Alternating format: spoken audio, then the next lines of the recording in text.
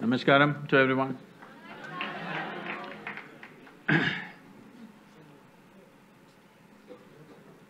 well, I अपने समय में मैंने यूनिवर्सिटी में बहुत समय नहीं बिताया था। तो यहाँ मैं आप सभी के साथ उसकी भरपाई कर रहा हूँ। और आप सब बहुत सौभाग्यशाली हैं कि आप देश के इतने महत्वपूर्ण संस्थान में हैं। आपका कैंपस बहुत शानदार है। और ये यूथ एंड ट्रुथ क्यों? ये कैसे शुरू हुआ? पिछले 36 सालों में ये लगातार होता रहा है। हज़ारों लोग मेरे पास आकर हमेशा कहते हैं।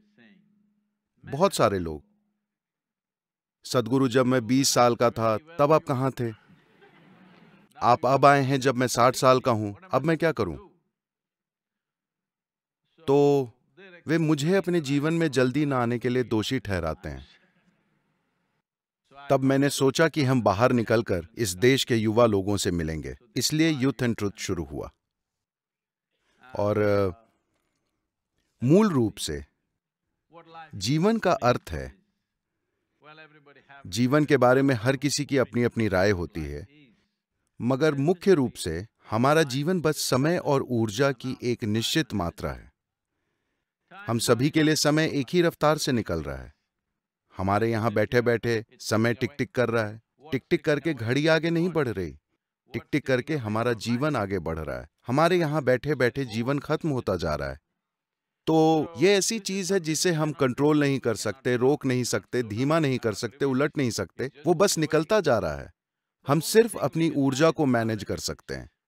जीवन के जिस हिस्से को हम युवावस्था कहते हैं, वो जीवन का ऐसा समय होता है जब आपकी ऊर्जा सबसे अधिक उल्लासमय होती है। अधिकांश युवा इस बात को नहीं समझते। उन्हें लगता है कि वे हमेशा इसी तरह रहेंगे। विश्वास कीजिए, ऐसा नहीं है। मैं चाहता हूँ कि आप बुज़ुर्ग लोगों पर ध्यान दें। वे किस तरह चलते हैं, हिलते हैं, बैठते हैं, खड़े होते हैं। आप समझ जाएँगे कि मैं क्या कह रहा हूँ। ऊर्जा का ये स्तर, उल्लास का ये स्तर हमेशा आपके साथ नहीं होगा, सिर्फ़ जीवन के इसी हिस्से में, जिसे हम जवानी कहते हैं, ये संभव होता है। तो जब आपकी ऊर्जा अपने चरम पर होती है, अगर आप अपने जीवन में थोड़ी स्पष्टता और संतुलन ले आए तो इससे उस ऊर्जा का बेहतर इस्तेमाल हो सकता है। वरना ये उल्लास आपके जीवन में आपके खिलाफ जा सकता है। एक चीज़ जो मैं देख रहा हूँ, देखिए, अगर हम एक महान समाज, एक महान देश या एक महान विश्व चाहते हैं, हम एक महान देश, एक महान समाज नहीं बना सकते। हम सिर्फ़ महान इंसान बना सकते हैं। महान इंसान कैसे बनते हैं? किसी न किसी रूप में व्यक्तिगत प्रतिभा को सामने आना होगा।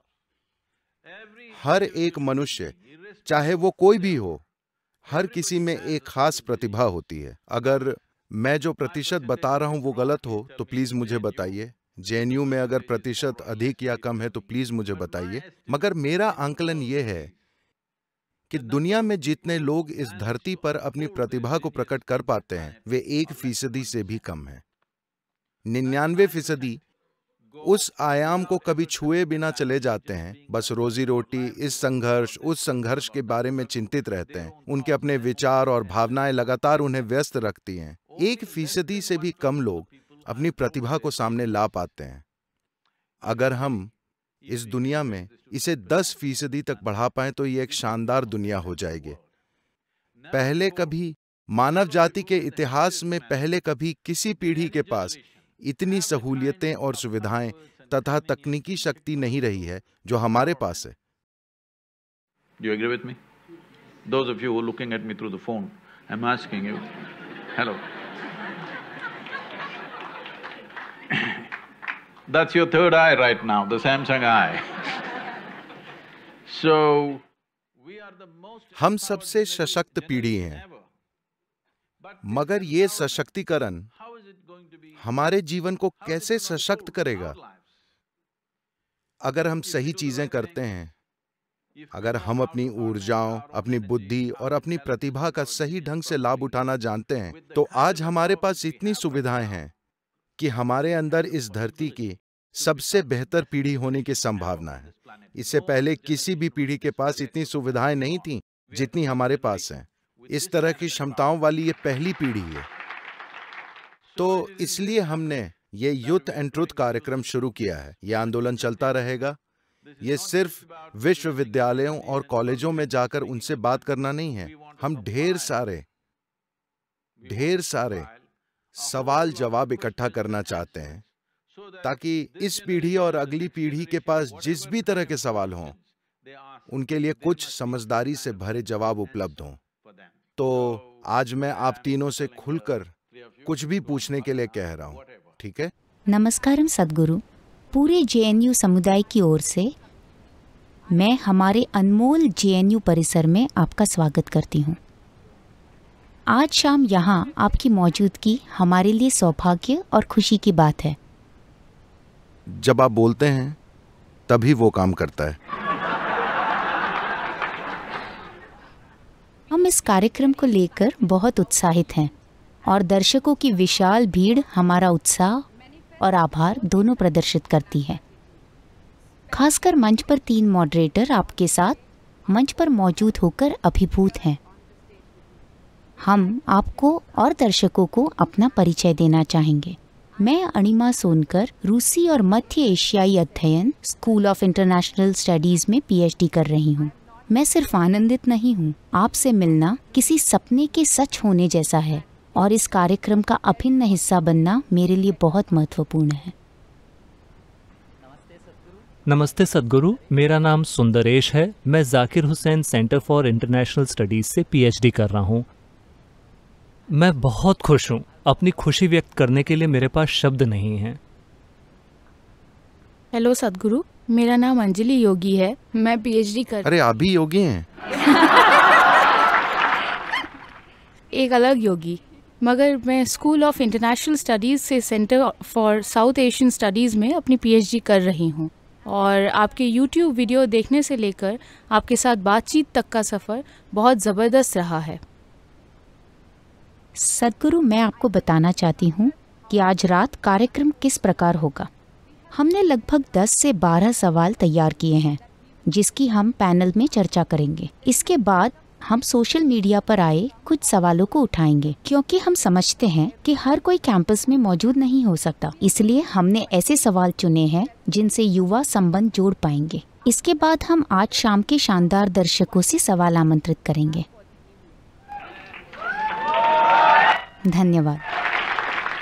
सदगुरु तो पहला सवाल है, जब हमने जेएनयू के विद्यार्थियों और विद्वानों को इस यूथ एंड ट्रुथ अभियान के बारे में बताया तो सबसे पहला सवाल इस अभियान के आधार के बारे में उठा। तो सच्चाई असल में होती क्या है और आप हर सवाल का जवाब देने के काबिल कैसे हैं? मुझे खुशी है।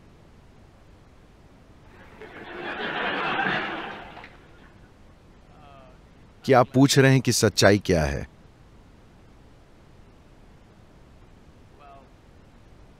जो भी चीज़ें जीवन के सभी आयामों में कारगर हो, वही सत्य होगी, है ना? इस देश में प्राचीन समय से ही सत्यमेव जयते कहा जाता रहा है। इसका मतलब है कि सिर्फ़ सत्य कारगर होता है। जब महात्मा गांधी आए तो उन्होंने उस समय इसे एक राजनीतिक नारे की तरह इस्तेमाल किया। मगर अब आप ऐसी स्थिति में पहुँच गए हैं, जिसमें आप सवाल करेंगे कि सत्य कारगर होगा या नहीं। तो मैं आपके लिए इसे दूसरे तरीके से बोल रहा हूँ। जो भी जीवन के सभी आयामों में सच में कारगर होगा, वही सत्य होगा। हेलो जो चीज़ वास्तव में जीवन के हर पहलू में कारगर होती है, वो सत्य ही होगी, है ना? तो मुझे कौन सी चीज़ काबिल बनाती है, यही आपको आज पता लगाना चाहिए।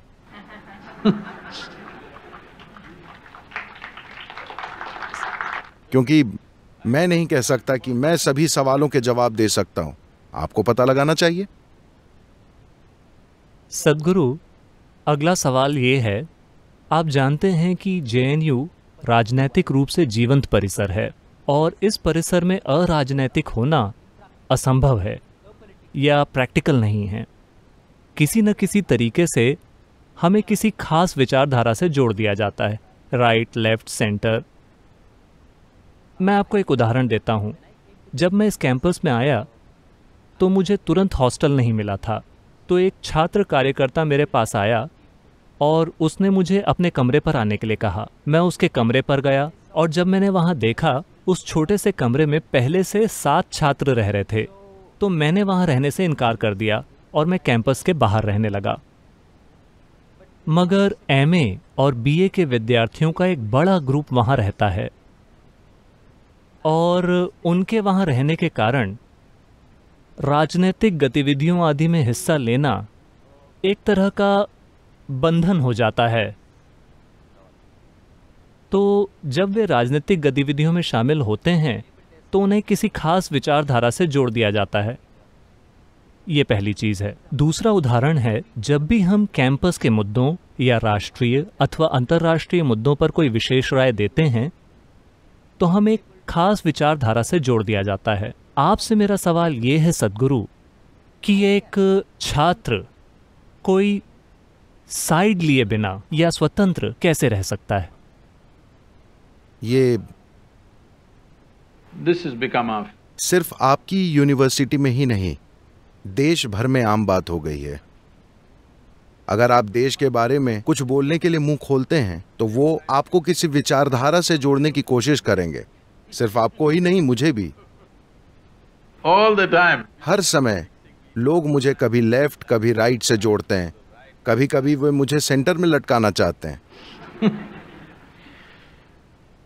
मैंने हमेशा ये बात साफ़ की है। मेरा सरोकार लोगों से है। राष्ट्रीयता से भी नहीं मेरा सरोकार बस लोग हैं क्योंकि मैं हर तरह के लोगों के साथ काम करता हूँ।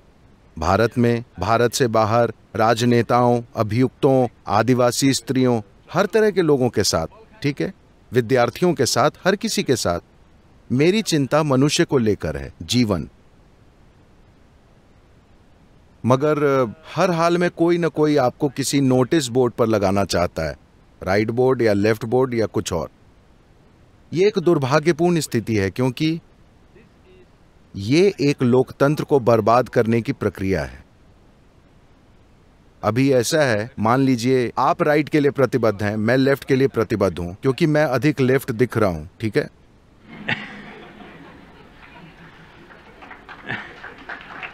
तो अब हम प्रतिबद्ध हो चुके हैं। तो मैं पूछता हूँ, अब सीक्रेट बैलेट का क्या काम है? हम जानते हैं कि ये तीन लोग राइट राइट के लिए वोट करेंगे, ये लेफ़्ट को वोट देगा, हर कोई जानता है। फिर सीक्रेट बैलेट का क्या मतलब है? What is the point of citizen एक नागरिक को नेतृत्व चुनने का प्रस्ताव देने का क्या मतलब है? तमिल भाषा में लोकतंत्र का मतलब है जननायकम। इसका मतलब है कि लोग ही नेता हैं। इसका यह अर्थ है, लोग नेता हैं, मगर सभी नेता तय हैं। आप उनसे नेता कैसे बनाएँगे? आप लोकतंत्र कैसे चलाएँगे? अगर आप एक जीवंत लोकतंत्र चाहते हैं तो सबसे महत्वपूर्ण चीज़ ये है कुछ पार्टी कार्यकर्ताओं को छोड़कर बाकी आबादी किसी भी पार्टी किसी विचारधारा से न जुड़ी हो। हम किसी को पाँच साल मौका देते हैं। अगर वे अच्छा करते हैं तो हम उन्हें एक और मौका देते हैं। अगर वे अच्छा नहीं करते तो हम किसी और को ले आते हैं। ये इस तरह होना चाहिए। मगर दुर्भाग्य से ये दुनिया भर में प्रचलित हो गया है। United States? अमेरिका में ये और बदतर था। मैं अमेरिका में गर्व से बताता था कि हम एक जीवंत लोकतंत्र हैं।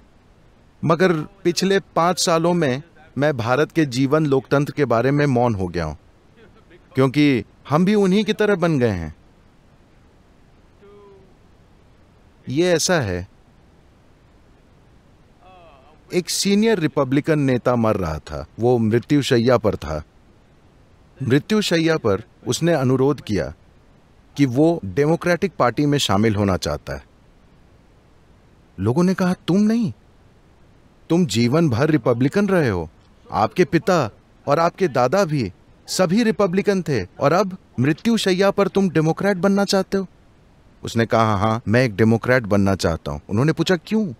वो बोला, मैं चाहता हूँ एक डेमोक्रेट मर जाए।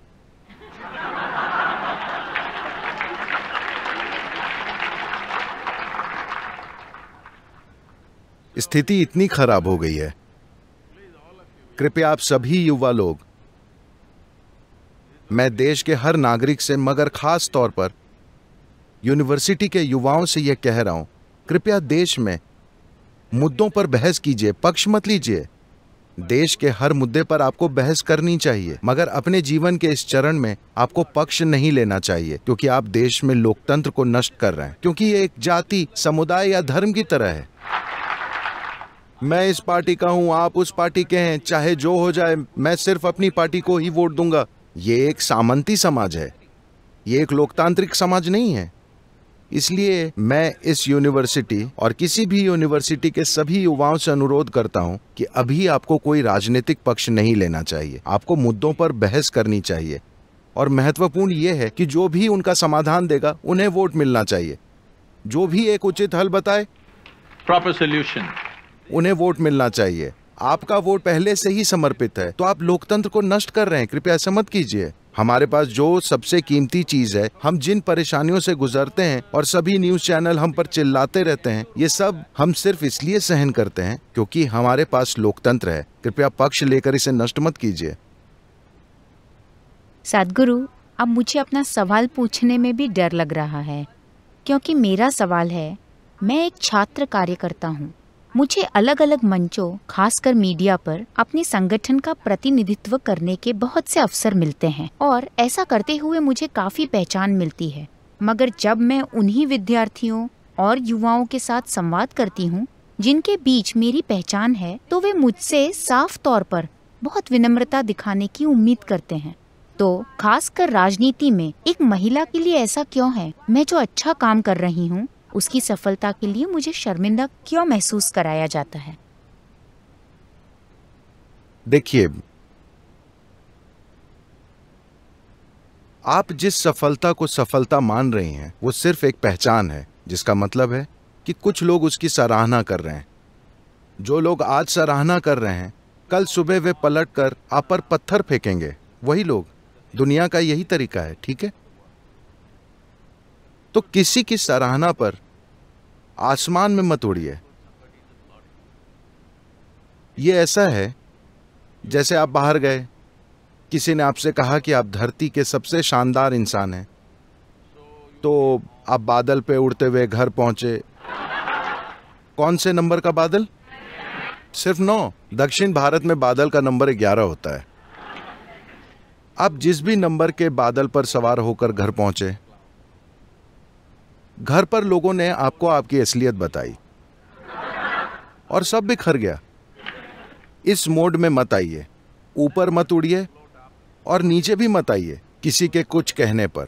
ऐसा सिर्फ़ तभी होता है जब आप नहीं जानते कि आप कर क्या रहे हैं। अगर आप इस बारे में स्पष्ट हैं कि आप क्या कर रहे हैं तो लोग जो चाहें कहें वे बड़ी बातें कहेंगे लेकिन आप सीमाएँ जानते हैं वे बुरी चीज़ें कहेंगे मगर आप जानते हैं कि आप क्या कर रहे हैं। जीवन में बस यही महत्वपूर्ण है। अगर आप इस बात पर भूल जाएँगे कि किसी ने कुछ अच्छा कह दिया या निराश हो जाएँगे कि किसी ने कुछ बुरा कह दिया तो आपके जीवन पर इसका असर होगा। आप बड़ी ज़िम्मेदारी नहीं उठा सकते क्योंकि अगर आप इससे प्रभावित हो रहे हैं कि कोई आपके बारे में अच्छी या बुरी चीज़ें कह रहा है तो आप अपने जीवन को सीमित कर लेंगे। क्योंकि अगर आप बाहर कदम निकालते हैं तो ज़ाहिर है कि तरह तरह के लोग तरह तरह की बातें करेंगे। लोग मुझ पर हर तरह का आरोप लगा चुके हैं। दुनिया भर के आरोप, जो एक मनुष्य कर सकता है और जो नहीं कर सकता है, सब कुछ। मगर जब तक आप जानते हैं कि आप क्या कर रहे हैं, उससे कोई फ़र्क नहीं पड़ता। सदगुरु यहाँ हम इस सवाल को थोड़ा और आगे ले जाना चाहेंगे। हालाँकि ये एक खतरनाक सवाल है। सवाल कभी खतरनाक नहीं होता सिर्फ़ जवाब होता है। कैंपस थोड़ा खतरनाक है शायद। नहीं बस जवाब होता है। आप मुझे खतरे में डालना चाहते हैं मुझे कोई परेशानी नहीं है। वीसी ने कहा है कि कैंपस बहुत शानदार है। तो क्या आप थोड़ी आवाज़ बढ़ा सकते हैं प्लीज़? हुँ? तो जब मैं एक विद्यार्थी के रूप में यूनिवर्सिटी में आई तो मैं सोचती थी कि राजनीति में क्यों जाएँ? बस अपना कैरियर बनाकर यूनिवर्सिटी से चले जाएँ। तो मेरा नज़रिया कैरियर केंद्रित था। आप क्या सोचते हैं? क्या छात्र जीवन और राजनीति एक अच्छा मिश्रण है? क्या आपको लगता है कि ये कुल मिलाकर एक अच्छा मिश्रण है? देखिए, पहले राजनीति शब्द को समझते हैं। दुर्भाग्य से आज इस देश में अगर मैं कहूँ कि वे राजनीति कर रहे हैं तो इसका मतलब है कि वे कुछ बुरा कर रहे हैं। दुर्भाग्यपूर्ण। राजनीति का मतलब है कि आपका काम नीति बनाना है। राजनीति इसीलिए होती है। राजनेता का मतलब है ऐसा इंसान जो नीति निर्माण में शामिल है। नीति निर्माण किसी राष्ट्र के निर्माण के लिए ज़रूरी है या नहीं? वो ज़रूरी है या नहीं? तो सबसे पहले राजनीति शब्द का नेगेटिव अर्थ हटा दीजिए। अगर आप राजनीति करके लोगों के साथ बुरे तरीके से चीज़ें कर रहे हैं तो निश्चित रूप से आपको यह छोड़ देना चाहिए। लेकिन अगर आप समझने की कोशिश करते हैं कि नीति कैसे बनाई जाती है, हो सकता है कि आप भविष्य में राजनेता ना बने, पता नहीं। मगर हर युवा को यह जानना चाहिए कि नीति किस तरह बनाई जानी चाहिए, किसी समाज या देश के लिए समाधान किस तरह ढूंढा जाना चाहिए, हर किसी को इसके बारे में सोचना चाहिए, वरना हम गैर जिम्मेदार नागरिक समाज बन गए हैं, जहाँ हम जाकर वोट तक नहीं देते, क्योंकि हम नहीं जानते कि ये क्या है। हमें लगता है कि राजनीति का मतलब भ्रष्टाचार है। हमें लगता है कि राजनीति का मतलब एक दूसरे के साथ कुछ बुरा करना है। नहीं, राजनीति का मतलब है नीति बनाना सीखना। नीति बनाने का मतलब है किसी ऐसे बिंदु पर पहुँचना जो हर किसी के लिए कारगर हो। हर किसी के लिए नहीं तो कम से कम अधिकतम लोगों के लिए। देश या दुनिया में नीति निर्धारित करने का मतलब है at a एक खास रूपरेखा तय करना ताकि वो हम सबके लिए काम करे। क्या ये महत्वपूर्ण नहीं है? चाहे आप दो सदस्यों वाला या चार सदस्यों वाला परिवार चलाने जा रहे हो या कोई छोटा मोटा कारोबार या कोई संस्था या देश क्या ये ज़रूरी नहीं है? कि आप ऐसा ढांचा बनाने का तरीका सीखें जो सभी संबंधित लोगों के लिए कारगर हो। क्या यह हम नहीं है? चाहे आप भविष्य में कुछ भी करें। हम इस पर थोड़ा स्पष्टीकरण चाहते हैं। तो सदगुरु, आपने अपने एक पुराने वीडियो में वामपंथी झुकाव रखने का ज़िक्र किया है। आप पोस्टर लगाने का काम करते थे और आप देर रात की बैठकों में शामिल होते थे और पोस्टर लगाते थे। और बाकी काम किए मगर जब जब हम कैंपस में विद्यार्थियों के साथ विचार विमर्श कर रहे थे तो हमने पाया कि सदगुरु को बहुत से लोगों द्वारा राइट विंग का माना जाता है। हालाँकि आपने इससे पहले भी स्पष्ट करने की कोशिश की है मगर ये राइट विंग कहाँ है? ये राइट आर्म है। मगर सदगुरु ये धारणा इसलिए है क्योंकि आपने पहले भी डिमोनेटाइजेशन के मुद्दे पर सरकार का समर्थन किया। उसके बाद देश में कोई बम विस्फोट ना होने पर भी। तो क्या सदगुरु इसे स्पष्ट करते हैं हुँ? क्या सदगुरु अब दक्षिणपंथी हो गए हैं? देखिए फ़िलहाल हम तमिलनाडु सरकार के साथ काम कर रहे हैं। जो आप जानते हैं कि अन्ना द्रमुक है। कोई नहीं जानता कि वो कौन सी विंग है।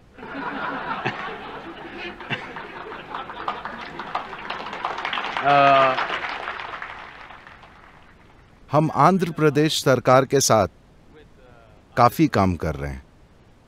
उनके बारे में भी मुझे लगता है कि आप तय नहीं कर सकते कि वो कौन सी विंग है। और वो विंग केंद्र में बड़ी विंग का हिस्सा थी, मगर अब वो नहीं है, वो उसके खिलाफ हो रही है। हम केरल में काम कर रहे हैं, जो वामपंथी है और हम केंद्र सरकार के साथ काम कर रहे हैं। अगर आप चाहें तो उसे दक्षिणपंथी कह सकते हैं। मैं कह रहा हूँ, सरकार के साथ क्या समस्या है? एक लोकतांत्रिक देश में सरकार का मतलब है लोगों की पसंद, है ना? कोई ये कहे कि मैं लोगों की पसंद का सम्मान नहीं करता, मैं सिर्फ़ अपनी पसंद का सम्मान करता हूँ। मेरे ख्याल से आप पागल हैं। आप आप कट्टरपंथी हैं। आप अपने विश्वासों को लेकर कट्टर हैं। मैं किसी विंग से नहीं जुड़ा हूँ मगर जब जनता चुनती है तो चाहे मैं उससे सहमत होता हूँ या नहीं होता हूँ निजी तौर पर चाहे मैं सहमत हूँ या नहीं मैं लोगों की इच्छा के सामने सिर झुकाऊँगा क्योंकि एक लोकतंत्र का यही मतलब है। Now, अब महत्व लोकतंत्र का महत्व यही है। why can't we have आपने मेरे बारे में बातें कही। मैं सिर्फ़ चौदह साल का था ठीक है? कृपया मुझे माफ़ कर दीजिए। युवा खून था उस समय। अब भी अभी युवा हूँ। सदगुरु आप उसे ऐसे पेश कर रहे हैं जैसे वह आपकी गलती थी। नहीं नहीं मैंने ये नहीं कहा कि वो मेरी गलती थी। मैं बस आपको ये बता रहा हूँ वो सत्तर का दशक था। उन्नीस सौ सड़सठ में चे की मृत्यु हुई। आप नहीं समझते उस समय was like, uh, चे हमारे बड़े भाई जैसा था। वो मर गया और उसे कैसे मारा गया ये कहानियाँ हर जगह फैलने लगी और हम सभी में ढेर सारी भावनाएँ थीं। आज भी मैं लोगों को चे की टी शर्ट पहनकर घूमते देखता हूँ। शायद उनमें से काफ़ी लोग जानते भी नहीं होंगे कि वो कौन है। उन्हें लगता है कि वो बॉब मार्ले जैसा कोई है। तो उस समय ऐसा लगा जैसे हमारा बड़ा भाई बोलिविया में मारा गया। और उस समय देश ऐसी स्थिति में था जहाँ ऐसा लग रहा था कि इस देश में कभी कोई हल नहीं होगा। ऐसा समय था।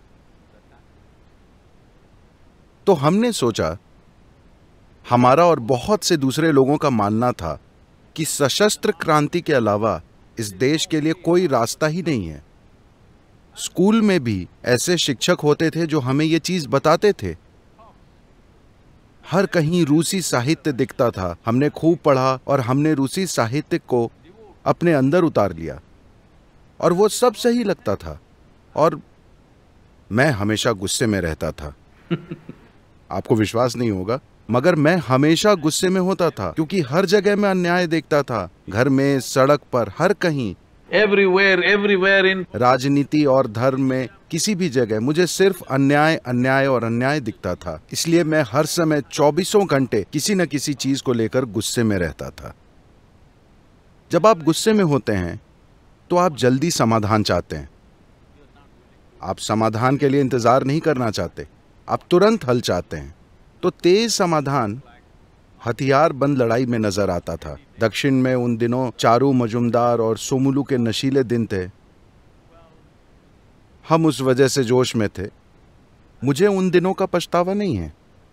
मगर अब हम ऐसे समय में आ गए हैं जहाँ हम लोकतांत्रिक तरीके से एक संभावना की दहलीज पर हैं। इससे पहले दुनिया में कभी ऐसा नहीं हुआ है। मैं आपको बताना चाहता हूँ, एकमात्र देश जिसने एक अरब लोगों को गरीबी से आर्थिक खुशहाली के एक निश्चित स्तर तक पहुँचाया है, वो है चीन, ठीक है? मगर उन्होंने इसे कठोर हिंसक तरीके से किया, बहुत सी बार गोलियाँ चलाकर किया। मगर उन्होंने बहुत अच्छा काम किया है, क्योंकि लोगों को पीढ़ी दर पीढ़ी गरीबी में रखना उन्हें मारने से भी बुरा है। ज़बरदस्त गरीबी, जहाँ पोषण एक मुद्दा होता है तो उन्होंने जो किया वो अपने तरीके से किया। आप उनकी निंदा कर सकते हैं या सराहना कर सकते हैं। मेरे लिए वो एक खास समझ है, पीड़ादायक समझ। जिसका उन्होंने इस्तेमाल किया। और जब उन्होंने वो पा लिया जो वो पाना चाहते थे तो अब वे धीरे धीरे एक लोकतांत्रिक प्रक्रिया की ओर बढ़ने की कोशिश कर रहे हैं। कम से कम वे खुली बाज़ार प्रणाली को अपना रहे हैं। मगर भारत में हमारे पास अनूठी संभावना है। We can move हम 50 से 60 करोड़ लोगों को अभी भी ज़बरदस्त गरीबी से खुशहाली के एक ठीक ठाक स्तर पर पहुँचा सकते हैं सिर्फ़ अगले 10 से 15 सालों में। हम उसकी दहलीज पर हैं। एक लोकतांत्रिक प्रक्रिया के ज़रिए बिना गोलियों बिना हत्याओं के बिना भारी कंट्रोल के कुछ नहीं कोई बल प्रयोग नहीं। हम बिना बल प्रयोग के ऐसा करने में सक्षम हैं। अगर हम ऐसा कर पाए अगर हम सभी एक साथ आए तो ये होगा वरना हम हमेशा दहलीज पे ही बैठे रहेंगे। अभी एक संभावना है हम दहलीज को पार कर सकते हैं। मेरे ख्याल से हमें उस संभावना को हकीकत में बदलना चाहिए क्योंकि इससे पहले कभी any nation, anywhere. किसी देश ने 60 करोड़ लोगों को एक पीढ़ी में गरीबी से एक ठीक ठाक खुशहाली में नहीं पहुँचाया ऐसा कहीं नहीं हुआ है। पहली बार इस देश में ये कर सकते हैं।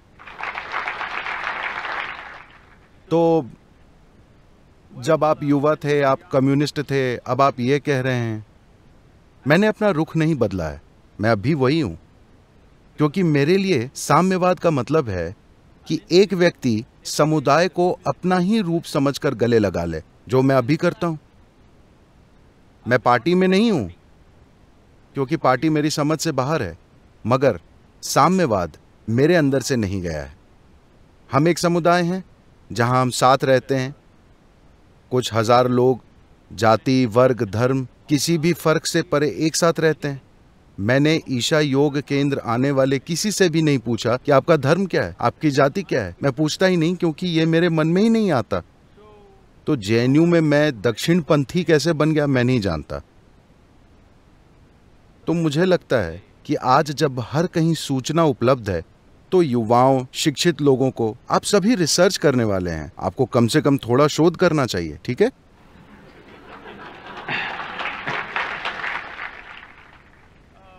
बस किसी के बारे में निराधार राय कायम करना जिससे आप मिले तक नहीं हैं।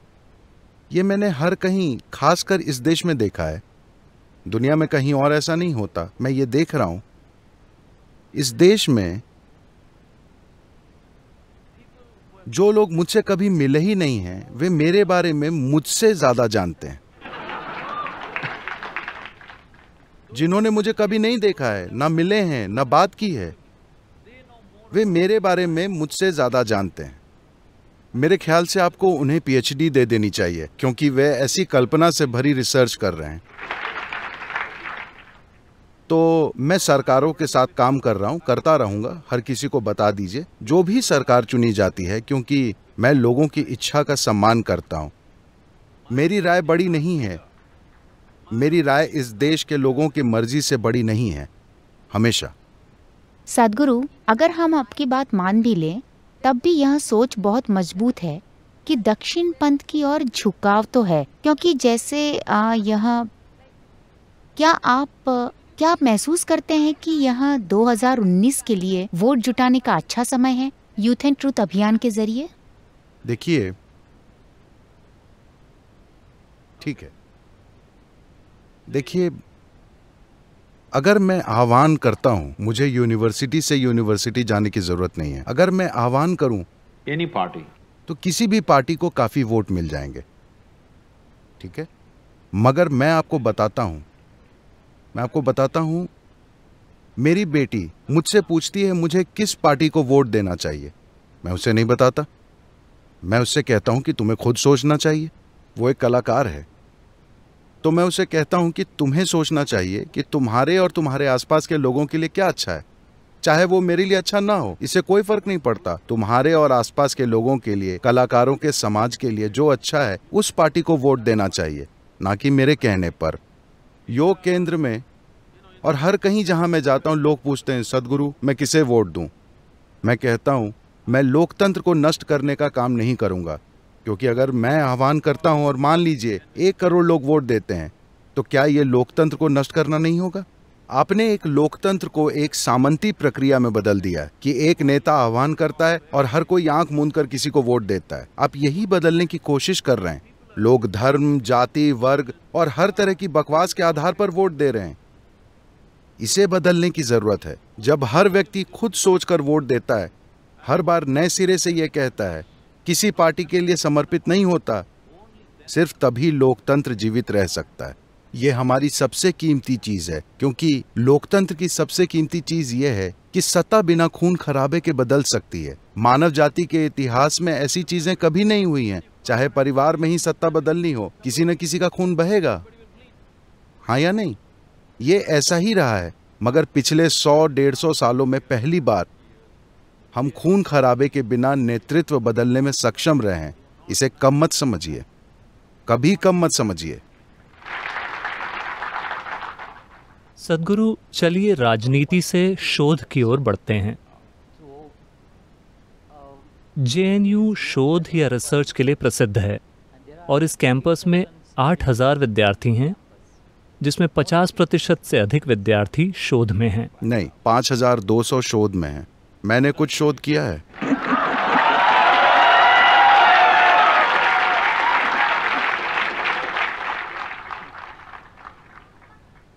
तो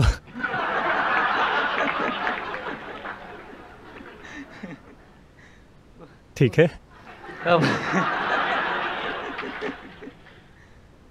सदगुरु एक सवाल कई सालों से मुझे परेशान कर रहा है, क्योंकि आपने हमें कोई भी सवाल पूछने की आज़ादी दी है। तो सवाल ये है, शोध क्या है? खासकर समाज विज्ञान में। उन चीज़ों का पता लगाना जो आपकी दादी पहले से जानती थी। नहीं नहीं, मैं शोध को नीचा दिखाने की कोशिश नहीं कर रहा हूँ।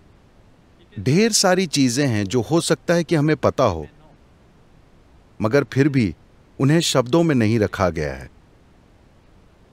उसे इस तरह प्रस्तुत नहीं किया गया कि उसे लागू किया जा सके। शायद आपकी दादी माँ वो सब कुछ जानती थी, जो आप रिसर्च कर रहे हैं, मगर वो उसे शब्दों में रखकर उसकी रूपरेखा नहीं बना सकती थी कि उसे कहीं लागू किया जा सके। वे अपने अनुभव से जानती थी, मगर उसे कहीं लागू नहीं किया जा सकता था। तो शोध का मकसद है चीज़ों को खोजना। शायद उन्हीं चीज़ों को जिन्हें लोग हमेशा से जानते रहे, खासकर समाज विज्ञान में। भौतिक विज्ञान या बाकी चीज़ों की शोध अलग हो सकती है, मगर समाज विज्ञान में बहुत से ज्ञानी लोग हमेशा से वो जानते आए हैं, जिस पर आप शोध कर रहे हैं, ठीक है?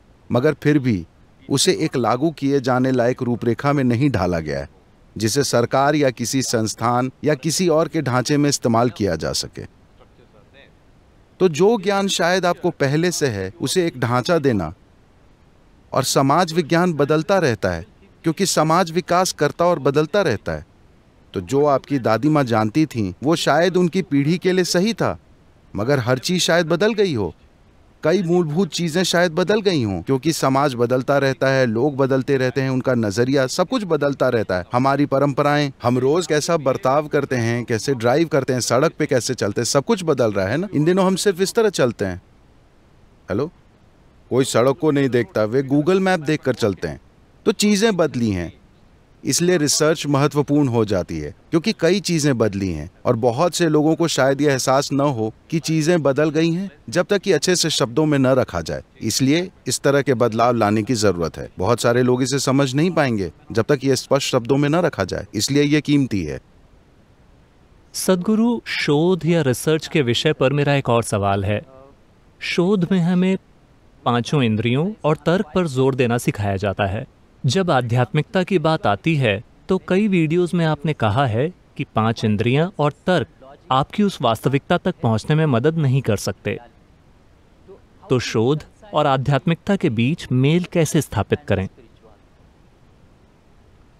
देखिए, आपके आसपास जो है, उसे ग्रहण करने, मूल रूप से इस दुनिया में काम करने के लिए आपको देखने, सुनने, सूंघने, चखने और छूने की ज़रूरत होती है। आप इसी तरह से भौतिक दुनिया को जानते हैं। तो जिन उपकरणों का इस्तेमाल आप भौतिक दुनिया के लिए करते हैं, वे जीवन के दूसरे आयाम को देखने या समझने के लिए उपयोगी ना हो। मगर इसका मतलब ये नहीं है कि आपकी आँखें बेकार हैं, आपके कान और सूंघने, चखने तथा छूने की इंद्रियाँ बेकार हैं। बस वो जीवन के एक क्षेत्र तक सीमित है। अगर आप उसे दूसरे क्षेत्र में इस्तेमाल करें तो ऐसा करना बेकार होगा। ये ऐसा है जैसे आप कार चला रहे हैं। आपने चाँद देखा, आप जानते हैं कि कल पूर्णिमा थी। आपने गोल चाँद देखा और आपको वहाँ जाने की इच्छा हुई। कई बार कार के विज्ञापन थोड़े रहस्यमय हो जाते हैं। और उन्होंने आपको बता दिया कि अगर आप कार वाकई तेज दौड़ाएँ तो आप चाँद तक जा सकते हैं। अगर आप बहुत मेहनत करें तो आप चाँद से आगे जा सकते हैं, मगर चाँद पर नहीं जा सकते। क्योंकि चाँद पर जाने के लिए आपको अलग तरह के वाहन की ज़रूरत है। आप अपनी कार में चाँद तक नहीं जा सकते। तो इसी तरह अपनी पाँच इंद्रियों से आप भौतिक के दायरे को पार नहीं कर सकते। पाँच इंद्रियाँ सिर्फ़ भौतिक प्रकृति को समझने के लिए हैं और आपका सामाजिक विज्ञान आपके आसपास की भौतिक प्रकृति ही है। तो आपको अपनी पाँचों इंद्रियों को तेज बनाना चाहिए। ये बहुत महत्वपूर्ण है। चाहे सभी के पास 20 बाई 20 की दृष्टि हो पर एक खास परिस्थिति में हर कोई वो नहीं देख पाता जो एक खास व्यक्ति देख सकता है। हाँ या ना? हर व्यक्ति वो सब कुछ नहीं सुन सकता जो कोई खास व्यक्ति सुन सकता है। सभी की सुनने की क्षमता सामान्य हो सकती है मगर ध्यान देने के पहनेपन से बहुत फ़र्क पड़ता है। आप जो देखते हैं जो सुनते हैं कैसे सुनते हैं कितने ध्यान से समझते हैं ये सिर्फ़ आपकी आँख कान नाक और बाकी चीज़ों के कारण नहीं होता। इसके लिए ध्यान देने का पैनापन होना चाहिए। फॉर that, you need उसके लिए आपको ज़बरदस्त ध्यान देना होगा। शोध में आपको इस पर ध्यान देना चाहिए। पाँच इंद्रियों से परे जाने की कोशिश नहीं करनी चाहिए, क्योंकि फिर आप समाज को नहीं देख पाएँगे, आप कुछ और देखेंगे। सदगुरु, एक और बहुत महत्वपूर्ण सोच है, जो इस परिसर में बहुत महत्वपूर्ण है। वो है नारीवाद। और आपने अपने एक पुराने वीडियो में कहा है कि नारीवादी बस पुरुष बनने की बेसब्र कोशिश कर रहे हैं। नहीं नहीं। आप दूसरे लोगों की टिप्पणियाँ बता रही हैं ना कि मेरी। मगर आप दिल्ली के कुछ वकीलों की कुछ मूर्खतापूर्ण टिप्पणियाँ बता रही हैं। मगर फिर भी सदगुरु नारीवाद के बारे में आपके क्या विचार हैं? आप उसे कैसे देखते हैं? देखिए पहले तो पुरुष और स्त्री दो अलग अलग प्रजातियाँ नहीं हैं। हमें यह समझना चाहिए कि मान लीजिए पचास साल पहले या सौ साल पहले, तकनीकों के आने से पहले, जीवन में कुछ चीज़ें थी जो सिर्फ़ एक पुरुष कर सकता था। इस धरती पर काम मुख्य रूप से पुरुष की ताकत से होता था। हाँ इंसान की शारीरिक बल से, मुख्य रूप से पुरुष की। महिलाएँ ऐसे काम हाथ में लेती थीं जिसमें शारीरिक बल की खास ज़रूरत नहीं होती थी। जीवन के दूसरे पहलू भी होते हैं। वे स्वाभाविक रूप से वो काम करती थी। तो दुनिया इस तरह चल रही थी। आज महिलाएँ बाहर जाकर कई चीज़ें उदारवाद या नारीवाद के कारण नहीं कर रही सिर्फ़ तकनीक के कारण कर रही हैं।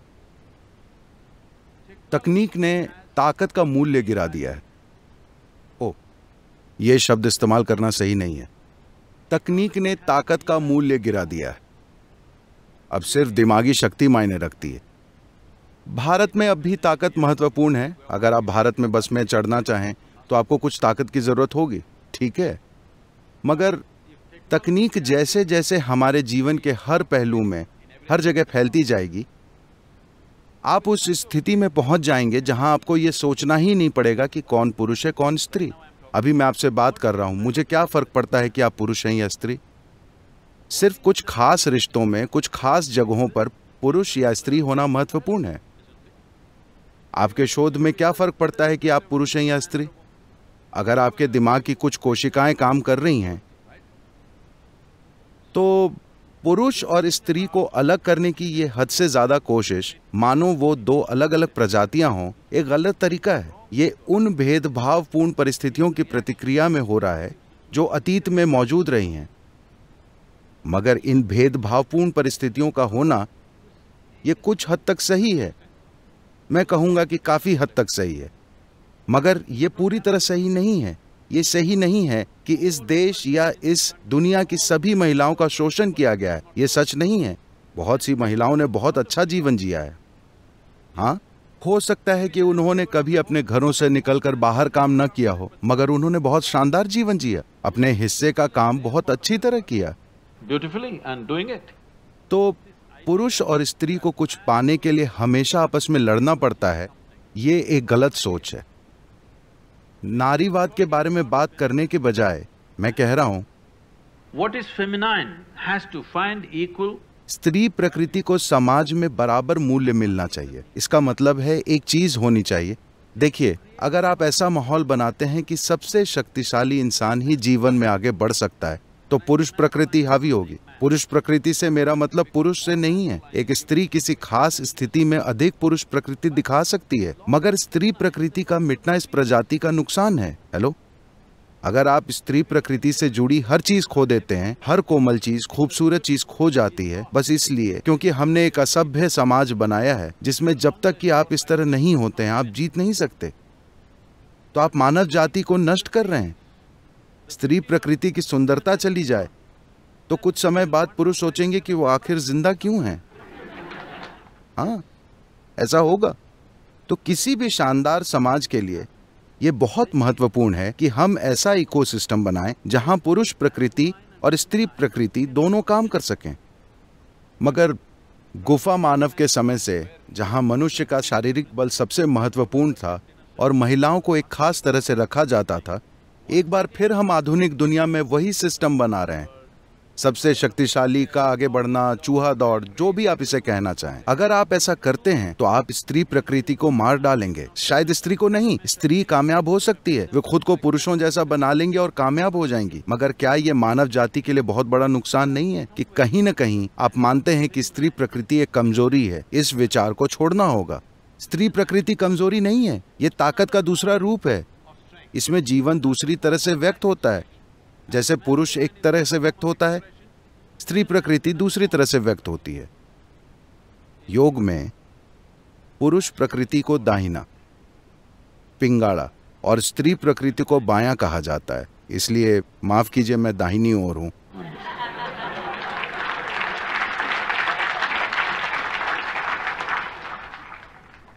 मगर हम बराबरी पर हैं, दो पुरुष और दो महिलाएँ। बिल्कुल बिल्कुल, सदगुरु।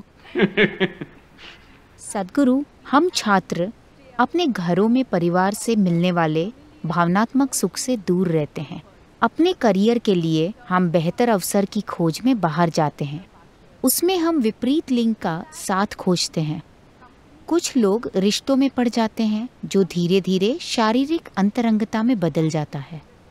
सदगुरु, सवाल ये है कि फिर हम एक पीढ़ी के रूप में इस पर खुलेआम चर्चा क्यों नहीं कर सकते? या शादी से पहले सेक्स आज भी एक अपवित्र चीज़ मानी जाती है? देखिए, ये किसी तरह का नुस्खा नहीं है। हर व्यक्ति की अपनी ज़रूरत होती है। अभी हमें यह समझना चाहिए, इस समाज में हम इंसानी कामुकता को इस तरह संभालते आए हैं। एक लड़की के किशोर वह में आने से पहले उसे बोल दिया जाता था, तुम्हारी शादी इस लड़के से होगी छह सात साल की उम्र में। शादी नहीं होती, मगर उसे कहते, तुम्हारे अंकल का बेटा उस लड़के से तुम्हारी शादी होगी। लड़के से कहते, तुम्हें उससे शादी करनी है। तो उन्होंने एक दूसरे को देखा नहीं है, एक दूसरे से मिले नहीं है। मगर उन्हें भावनाओं के स्तर पर जोड़ा जा रहा है। वे चाहते हैं कि एक दूसरे को छूने से पहले वे दोनों भावनाओं के स्तर पर अच्छे से जुड़ जाएँ। ये इस संस्कृति की तकनीक है। वे इस तरह संभालते थे। तो जब आप किशोरावस्था में आते हैं, आपका शरीर कुछ खास संभावनाओं में विकसित होता है, तब तक आपकी भावनाएँ किसी से जुड़ चुकी होती हैं। तो आप अपने शरीर को संभाल लेते हैं। आप पागल नहीं हो जाते, क्योंकि आपकी भावनाएँ किसी से पहले जुड़ चुकी हैं। तो 15-16 साल का होने पर लड़की की शादी कर दी जाती है। 17-18 साल का होने तक लड़के की शादी कर दी जाती है। फिर वे खेती या कारोबार या किसी और गतिविधि को अपनाते हैं। तो युवाओं के जीवन का एक महत्वपूर्ण पहलू सुलझा दिया जाता है। एक चीज़ है भावना, दूसरी चीज़ है शारीरिक ज़रूरत। दोनों को कम उम्र में हल कर दिया जाता है। और उन दिनों एक दो साल में बच्चे आ जाते थे तो वो व्यस्त हो जाते थे और जीवन चलता रहता था। ठीक है? आज हमारा जीवन बदल गया है, क्योंकि जब तक आप शिक्षा पूरी करते हैं, अधिकांश लोग कम से कम 24-25 साल की उम्र में होते हैं। पीएचडी का मतलब है 30 35 मैं नहीं जानता कितनी। ये इस पर निर्भर करता है कि आपके प्रोफेसर कितने उदार हैं।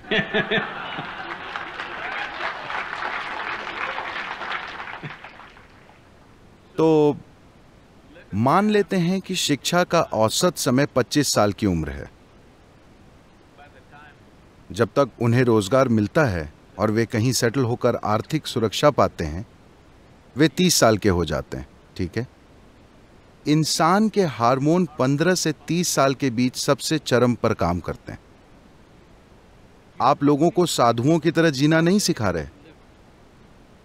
आप उन्हें कोई साधना नहीं सिखा रहे। जिससे वे अपनी ऊर्जा को किसी दूसरी संभावना में बदल सकें और कुछ और प्राप्त कर सकें। ऐसी कोई चीज़ नहीं है। और लड़के लड़कियों के बीच नजदीकी है। अगर आप इस चीज़ का हल नहीं खोजना चाहते तो आप एक अस्वस्थ समाज बनाएँगे। बहुत अस्वस्थ समाज, जो दुर्भाग्य से हमारे समाज में हिंसक तरीकों से व्यक्त हो रहा है, क्योंकि हमने इंसान की मूलभूत जरूरतों का हल नहीं खोजा है। पहली चीज़ है पोषण। अगर पोषण की समस्या हल हो जाए, आपको समझना चाहिए। पोषण का मतलब है जीवन चलाना। एक बार जीवित रहने की प्रक्रिया का हल हो गया तो कुदरती रूप से ये प्रजाति कोई एक व्यक्ति नहीं। आप जिस प्रजाति के हैं, वे प्रजनन की इच्छा करती है। इसे इसी तरह बनाया गया है। ये प्रजनन की चाहत इस प्रजाति के जीवित रहने के लिए है। अगर लोग प्रजनन नहीं करेंगे तो मानव नस्ल खत्म हो जाएगी, है ना? तो आपका शरीर और दिमाग कई चालें चलते हैं और जब आप किसी को देखते हैं तो अचानक आपको लगता है वे सबसे खूबसूरत हैं। अचानक आपको लगता है कि वे सबसे शानदार हैं। बाद में आपको कई चीज़ें पता चलती हैं. मगर शुरू में सब कुछ अस्पष्ट होता है। देखिए मैं बताता हूँ मान लीजिए आप 10-11 साल के हैं। उस समय आपने लोगों को देखा तो वे बहुत साधारण दिखे। अचानक 14 साल की उम्र में किसी के शरीर का हर छोटा उभार अपने आप में एक पूरी दुनिया हो जाता है। क्योंकि आपके हार्मोन हर चीज़ को प्रभावित करने लगते हैं। एक तरह से आपके हार्मोन आपकी बुद्धि को बंदी बना लेते हैं। ये बुरा या अच्छा बताने की चीज़ नहीं है। ये एक कुदरती प्रक्रिया है। कुछ लोग हो सकते हैं जो उससे परे चले जाएँ।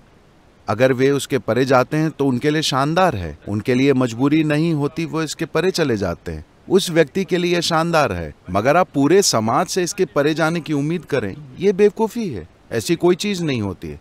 तो निश्चित रूप से बहस होनी चाहिए कि कब और कैसे कामुकता होना चाहिए। मगर अब भी हमारे कुछ सांस्कृतिक पहलू हैं। We are an emotional lot. हम आज भी भावुक लोग हैं। जब चीज़ें ज़रूरी भावनाओं के बिना होती हैं तो लोगों को कष्ट होता है। ढेर सारे लोगों को। कुछ लोग इससे ऊपर हैं, मगर लोगों को कष्ट होता है। तो हमारे देश में, हमारे समाज में इस पर चर्चा होनी चाहिए कि सामाजिक ढांचे से कोई बड़ी तोड़फोड़ किए बिना इसका हल कैसे निकालें। आपको इस पर शोध करना चाहिए कि ऐसा कैसे करें। सदगुरु हालाँकि आपके पिछले विस्तृत जवाब में मुझे अपने सवाल के जवाब की थोड़ी झलक मिल गई है, मगर फिर भी मैं पूछना चाहूँगी। तो मेरा ये विश्वास था, या वास्तव में मुझे ये विश्वास दिलाया गया कि एक जीवन में एक ही साथी होना चाहिए, मगर जब मैं देखती परखती हूँ तो ये पूरी तरह से एक ही साथी वाले संबंध अब नहीं दिखते। ये सोच ही खत्म हो चुकी है। आप इस बारे में क्या सोचते हैं? वो खत्म नहीं हुआ है। हो सकता है जेएनयू में खत्म हो चुका हो।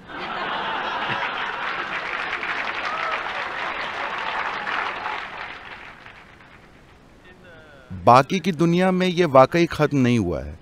इवन इफ़ you,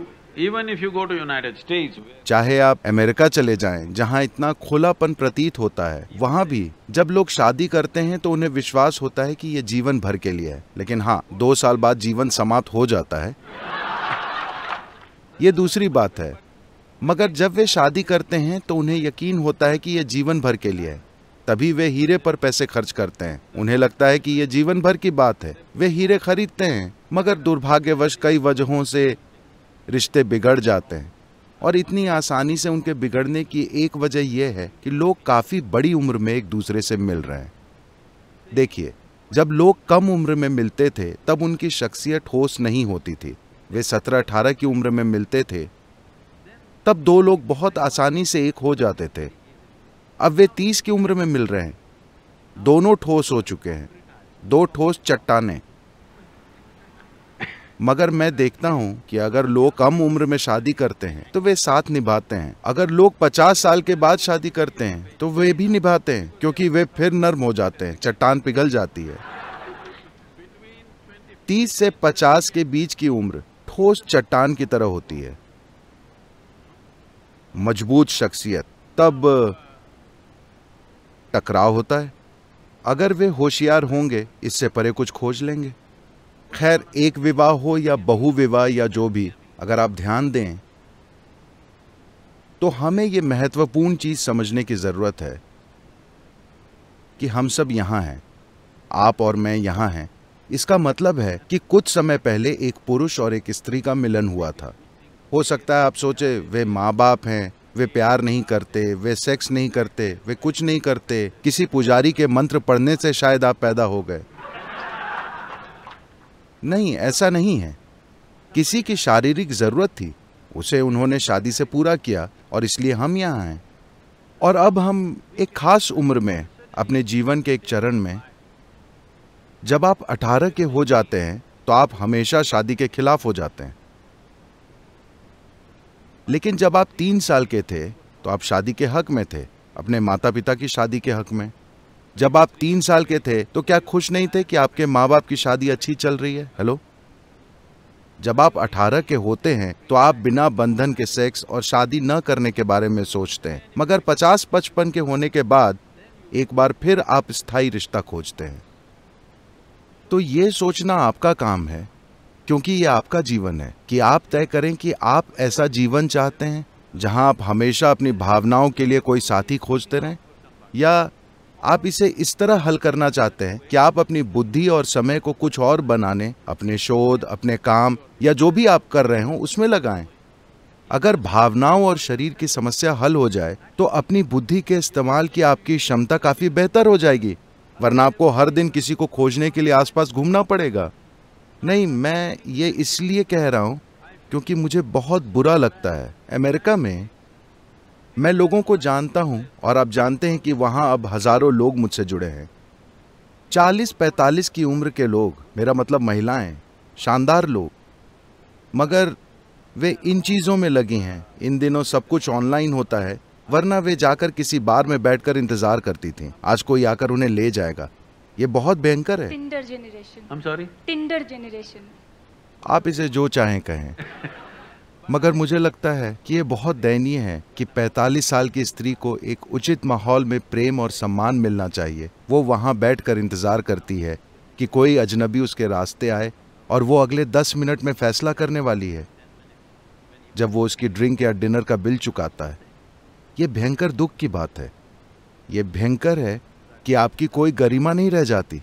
इसका मतलब ये नहीं कि हर कोई उस रास्ते पर जाए, मगर आपको कोई सामाजिक ढांचा तोड़ने से पहले सभी के कल्याण के बारे में सोचना चाहिए। आपको सोचना चाहिए कि उसके बदले एक बेहतर ढांचा ला सकते हैं या नहीं। जीवन के किसी भी चरण में हर किसी को समझना चाहिए, चाहे वो सामाजिक ढांचा या राजनीतिक ढांचा या समाज का मनोवैज्ञानिक ढांचा, उसे तोड़ने से पहले हमें सोचना चाहिए कि क्या हमारे पास बेहतर विकल्प है।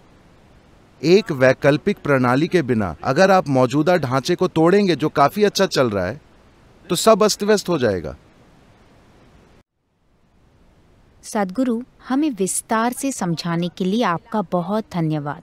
ये हमारे लिए बहुत मूल्यवान और कीमती था। जीवन के विभिन्न पहलुओं पर आपके जो विचार थे, जो हमारे उठाए गए सवालों और आपके दिए गए उत्तरों में आए, वे महत्वपूर्ण थे। इससे पहले कि हम चर्चा को आज शाम उपस्थित इस बेहतरीन श्रोता समूह के बीच ले जाएँ, हम कुछ सोशल मीडिया के आए सवालों को लेना चाहेंगे। और पहला सवाल अनिकेत दिवादकर का है। वो कहते हैं नमस्कार गुरुजी। पिछले कुछ दिनों से मेरा सामना इल्यूमिनाटी नाम की एक ऐसी सीक्रेट सोसाइटी से संबंधित बहुत सारी सामग्रियों से हो रहा है जो मीडिया फाइनेंस नेटवर्क और फार्मा नीतियों के माध्यम से पूरी दुनिया पर नियंत्रण कर रही है। यहाँ तक कि अनेक लीडर गुरु और पुजारी उनके नियंत्रण में है। मैं नहीं हूँ मैं नहीं हूँ। लेकिन जवाब तो देना होगा। मैं दूँगा लेकिन मैं ये कह रहा हूँ कि मैं उनके नियंत्रण में नहीं हूँ। हम सहमत हैं। देखिए मुझे लगता है कि आप डैन ब्राउन पढ़ रहे हैं। यू मीन अनिकेत अनिकेत हाँ हाँ। अनिकेत आप जहाँ कहीं भी हों। देखिए ये यूरोपीय संस्कृति का हमेशा से हिस्सा रहा है।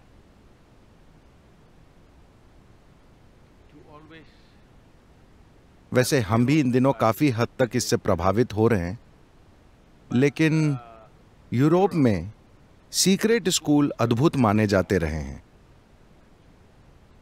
यहाँ तक कि प्रसिद्ध लोग जैसे सुकरात, अरस्तु, ये लोग वो भी सीक्रेट स्कूल के हिस्से थे।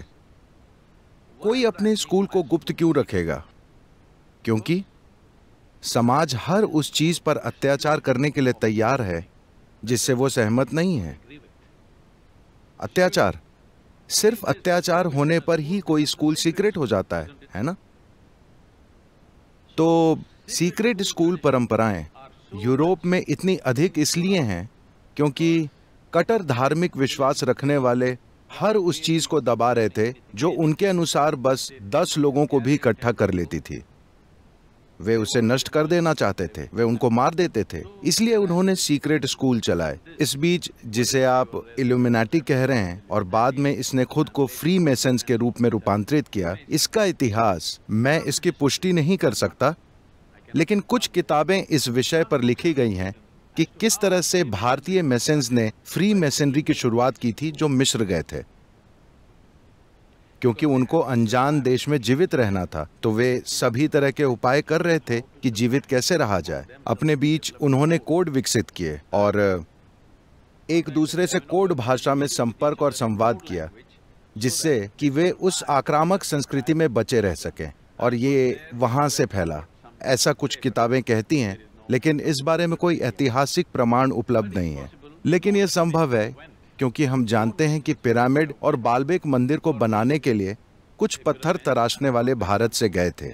4200 या 4300 साल पहले बने लेबनान के बालबेक मंदिर के बारे में इस बात के स्पष्ट रिकॉर्ड हैं कि उन्होंने एक फिनिशियन मंदिर बनाया था, जिसमें भारतीय पत्थर तराशने वालों और भारतीय हाथियों ने काम किया। हर लेबनानी बच्चा अपने स्कूल में ये पढ़ता है, लेकिन दुर्भाग्य से कोई भारतीय ये कभी नहीं पढ़ता, या भारतीय इतिहास की किसी किताब में ऐसा नहीं लिखा है। दुर्भाग्य है, खैर।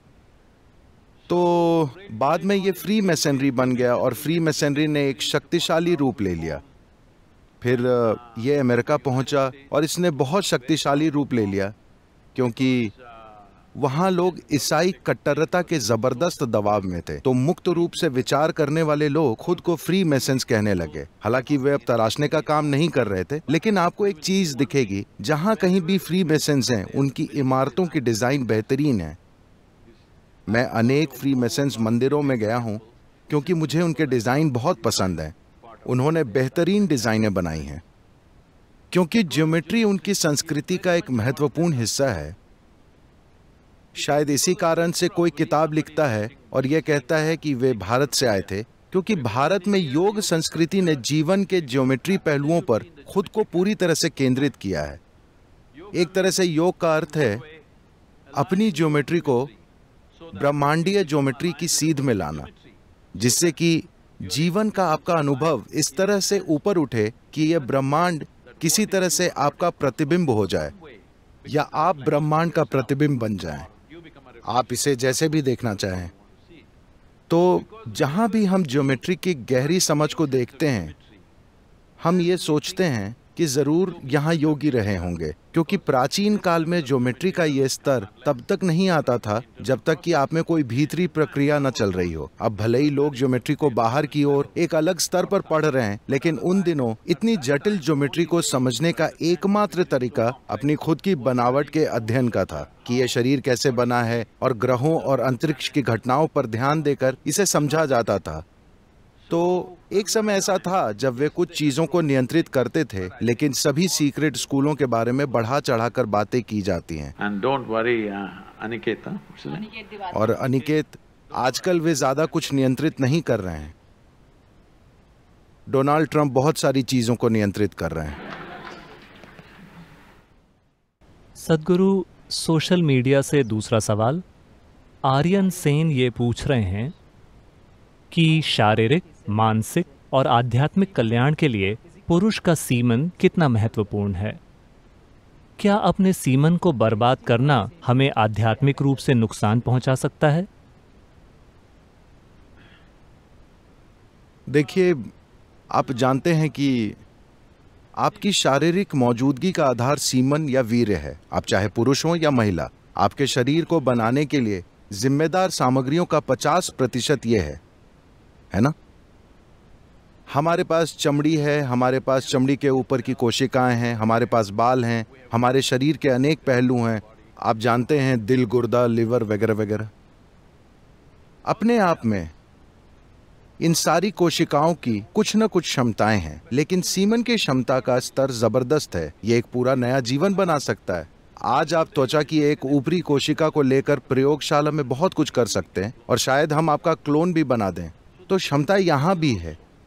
लेकिन इसका स्तर उन कोशिकाओं के स्तर जैसा नहीं है जिन्हें आप सीमन या वीर कह रहे हैं। In the yogic culture, this is called as virya. तो योग संस्कृति में हम इसे वीर्य कहते हैं। वीर्य को हम वज्र भी कहते हैं जिसका अर्थ है स्थिरता या हीरा जो सबसे कठोर चीज़ है। तो मानव शरीर में वीर्य को वज्र की तरह समझा जाता है। जिसका अर्थ है कि अगर आप इसका उपयोग करना जानते हो तो ये सबसे शक्तिशाली चीज़ों में से एक है। तो इसका उपयोग करने का मतलब ये है कि आप इसका उपयोग बच्चे पैदा करने के लिए कर सकते हैं। ये एक तरीका है। खैर ये सवाल इसलिए आया क्योंकि आप इसका उपयोग हॉस्टल की चादर को बर्बाद करने में कर रहे हैं। ठीक है? अगर आप इसका इस तरह से उपयोग कर रहे हैं तो आप मजबूर हैं आप जो कर रहे हैं वो कर रहे हैं। ये कोई ऐसी बात नहीं है जिस पर नैतिकता के आधार पर कोई राय बनाई जाए। सवाल यह है कि कोई किस हद तक मजबूर होकर कुछ कर रहा है। लेकिन क्या इस शरीर की किसी भी चीज़ को एक दूसरे स्तर पर काम करने के लिए रूपांतरित किया जा सकता है? बिल्कुल।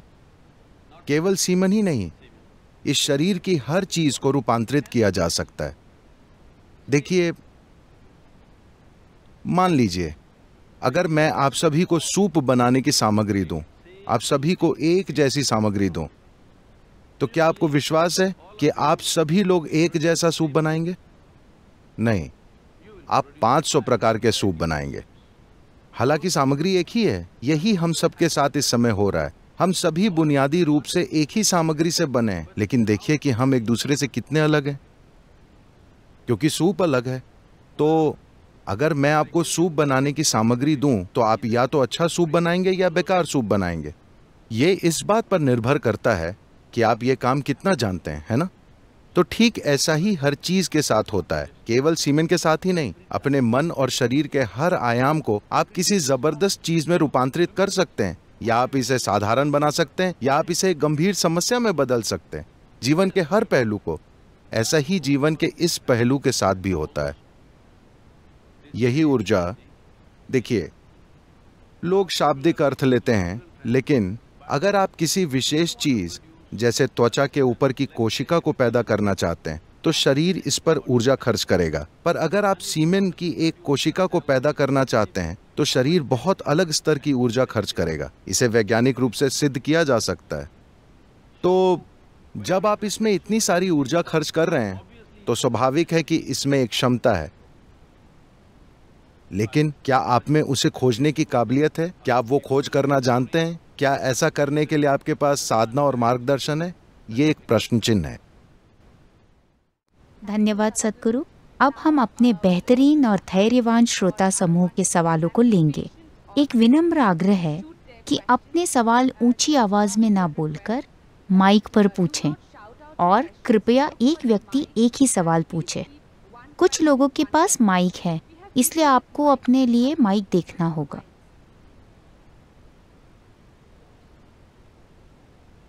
नमस्कार गुरुजी।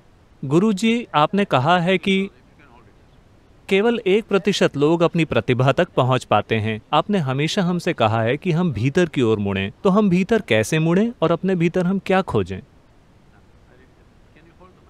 मैं कह रहा हूँ कि केवल एक प्रतिशत लोग अपनी प्रतिभा तक पहुँच पाते हैं और आप कहते हैं कि हमें इस प्रतिभा के उपयोग के लिए भीतर मुड़ने की ज़रूरत है। हम भीतर कैसे मुड़ें और हम क्या देखें? Well, uh, यहाँ पर दो चीज़ें आपस में मिल गई हैं। मानवीय प्रतिभा को बाहर लाने के लिए आपको बाहरी माहौल और भीतरी माहौल दोनों की ज़रूरत है। भीतरी माहौल केवल यह है कि आपको सहज होना होगा। जीवन में आपको पूरी तरह से आराम से रहना होगा। ज़्यादातर लोग हर समय ओ कि आपाधापी में लगे हैं। आपको सहज होना होगा। सहज होने का अर्थ है, किसी ने मुझसे कॉलेज में पूछा, हमें कैसे पता चलेगा कि हम सहज हैं? योग केंद्र में हम एक कोबरा टेस्ट करते हैं। आप इस बारे में पहले से जानते हैं? हाँ? इस बारे में आप पहले से जानते हैं. उनमें से कुछ जानते हैं। uh, देखिए अधिकांश विषैले जीव ऐसे होते हैं विशेष रूप से कोबरा ऐसे होते हैं और मधुमक्खियाँ ऐसी होती हैं और यहाँ तक कि मकड़ियाँ भी ऐसी ही होती हैं। वे आपको देखते नहीं हैं ज़्यादा सुनते भी नहीं हैं। कोबरा तो पूरे बहरे होते हैं, सांप ज़्यादातर बहरे होते हैं, वे कुछ भी सुन नहीं सकते, लेकिन वे आपके शरीर का रसायन महसूस करते हैं। अगर आप जंगल में जाएँ और किसी कोबरा को यूँ ही ऐसे उठा लें, सिर से नहीं, कुछ इस तरह से तो वो कोई विशेष प्रतिक्रिया नहीं करेगा और आपके पास आ जाएगा। शायद आपने देखा हो, उन्होंने एक फ़ोटो दिखाई थी जिसमें मैंने एक कोबरा को अपने हाथ में उठाया सिर से पकड़कर नहीं, बस ऐसे ही, वो पालतू सांप नहीं, एक जंगली सांप है, ठीक है? वो हमारे साथ दो दिनों तक रहा, फिर पहाड़ों में छोड़ आए। वहाँ आया था, इसलिए पकड़ लिया। तो अगर किंग कोबरा आपको डस ले तो आपके पास 20 से 40 मिनट का जीवन बाकी रहेगा। उसके पास एक हाथी को मारने जितना विष होता है, ठीक है? वो किंग कोबरा, जिसे आपने देखा, वो लगभग तेरह फीट का है। उसके पास किसी हाथी को मारने के लिए पर्याप्त विष है, लेकिन मैंने उसको ऐसे पकड़ रखा है। वो बस वही है, क्योंकि वो केवल आपके शरीर के रसायन को महसूस करता है। अगर आप उसे थोड़ी भी चिंता दिखाते हैं तो वो आपको लपक लेगा, क्योंकि उसे खतरे का एहसास होता है। आपकी चिंता उसके लिए खतरा है। तो हम आपका कोबरा टेस्ट ले सकते हैं। ये देखने के लिए कि आप सहज हैं या नहीं। अगर आप सहज हो जाते हैं, तब भी क्या सामाजिक परिस्थितियाँ आपको अपनी प्रतिभा को बाहर लाने की अनुमति देंगी या नहीं? जब आपके पास काफ़ी कट्टर सामाजिक बनावट होती है। जब आपके आसपास काफ़ी कट्टर धर्म होते हैं तो वे आपकी अपनी प्रतिभा को बाहर लाने की अनुमति नहीं देते। वो ये पक्का करेंगे कि आप उनके द्वारा बनाए नियमों से बंधे रहें। तो एक सामाजिक माहौल और एक भीतरी माहौल, ये बनाना महत्वपूर्ण है। मुझे लगता है कि आज आप अपने आसपास की किसी भी तरह की कट्टर परिस्थिति या दबाव वाली परिस्थितियों से भाग सकते हैं। आप उस जगह को छोड़ सकते हैं। सौ दो सौ साल पहले किसी स्थान को ऐसे छोड़ना संभव नहीं था। लेकिन आज अगर आपको ऐसी परिस्थिति मिले जो आपके जीने के तरीके के लिए बिल्कुल सहायक ना हो तो आप उस जगह को छोड़ सकते हैं और कहीं और जा सकते हैं है ना? यह अतीत में संभव नहीं था।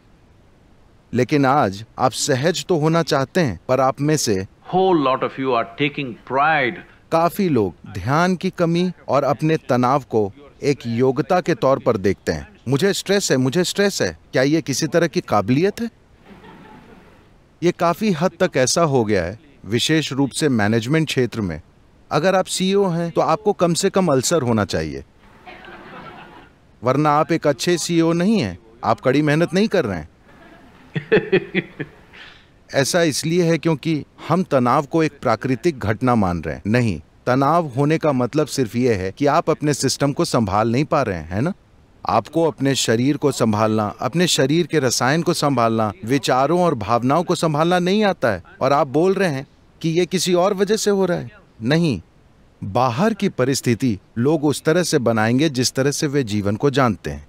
भीतरी परिस्थिति को वैसी बनाना जैसी आप चाहते हैं, ये आपका काम है है ना? दुनिया में हर चीज़ सौ प्रतिशत आपके तरीके से नहीं होगी, कभी भी नहीं।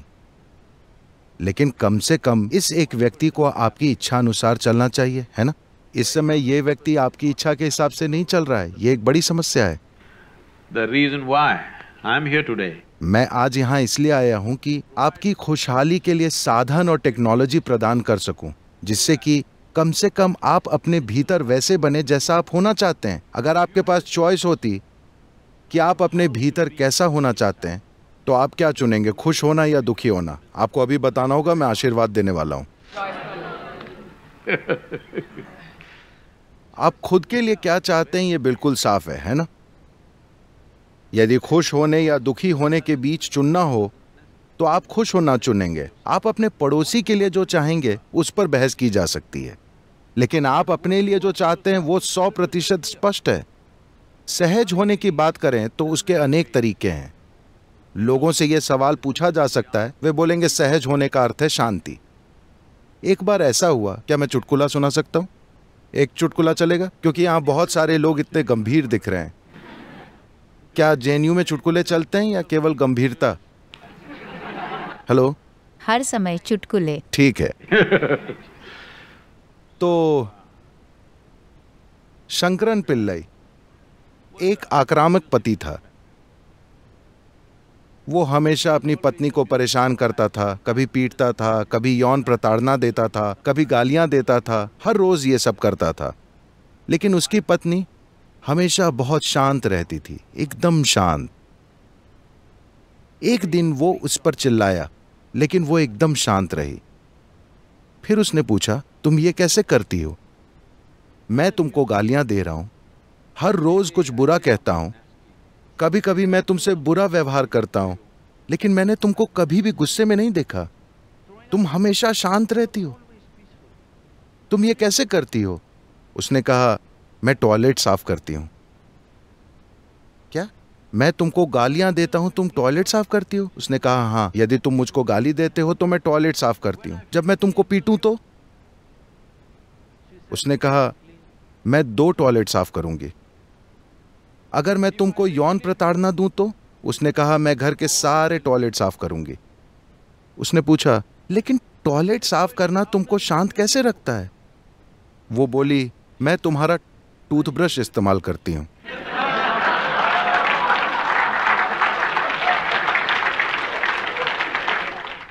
तो इसे संभालने के कई तरीके हैं।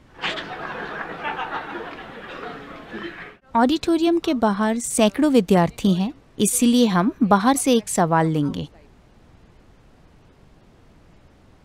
हेलो सर, मेरा नाम मोहम्मद अकमल है और मैं जेएनयू का विद्यार्थी हूँ।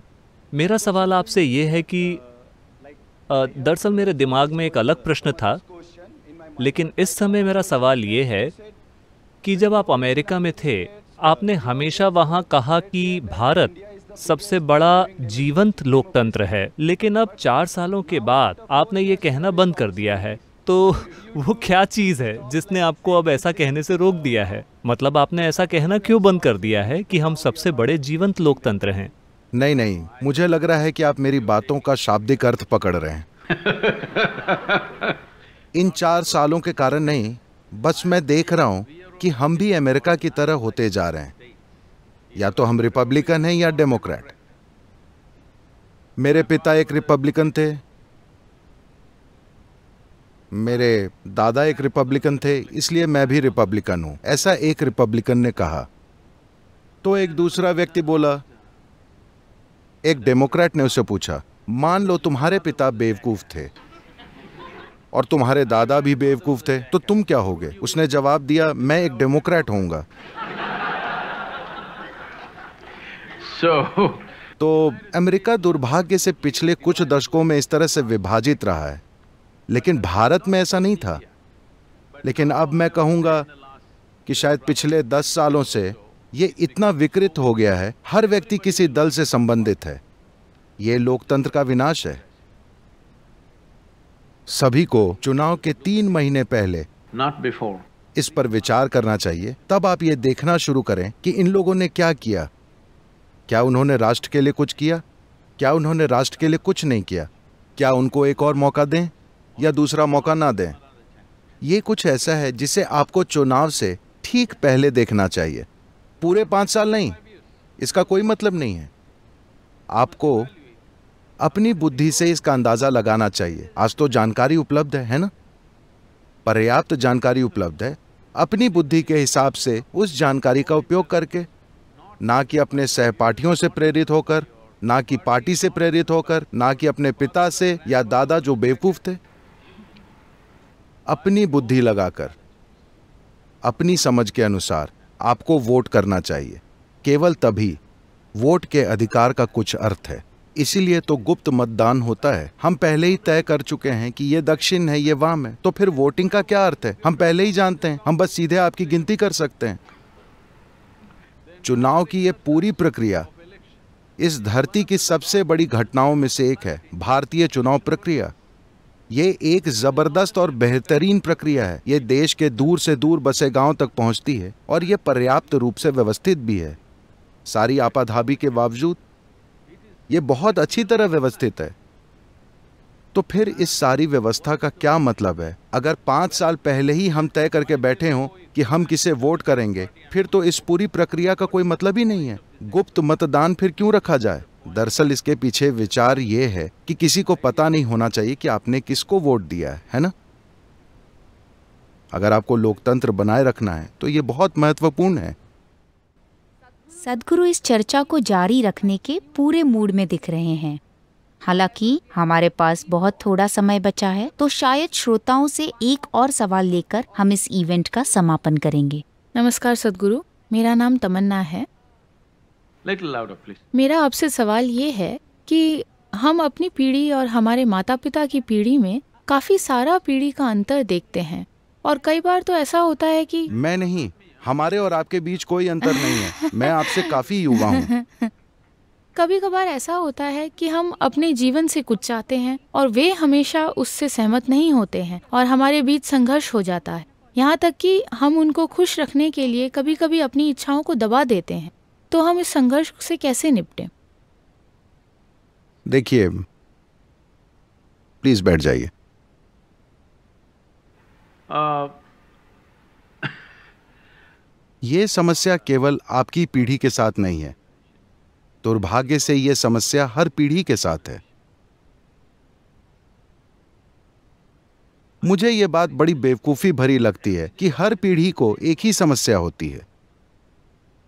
अगर हम सीखने के मोड में हैं तो कम से कम हमारे पास एक नई समस्या होनी चाहिए, है ना?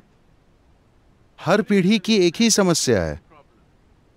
हालाँकि 25-30 साल पहले वे भी युवा थे, लेकिन अचानक वे ऐसा व्यवहार करते हैं जैसे वे इसी रूप में धरती पर अवतरित हुए हैं।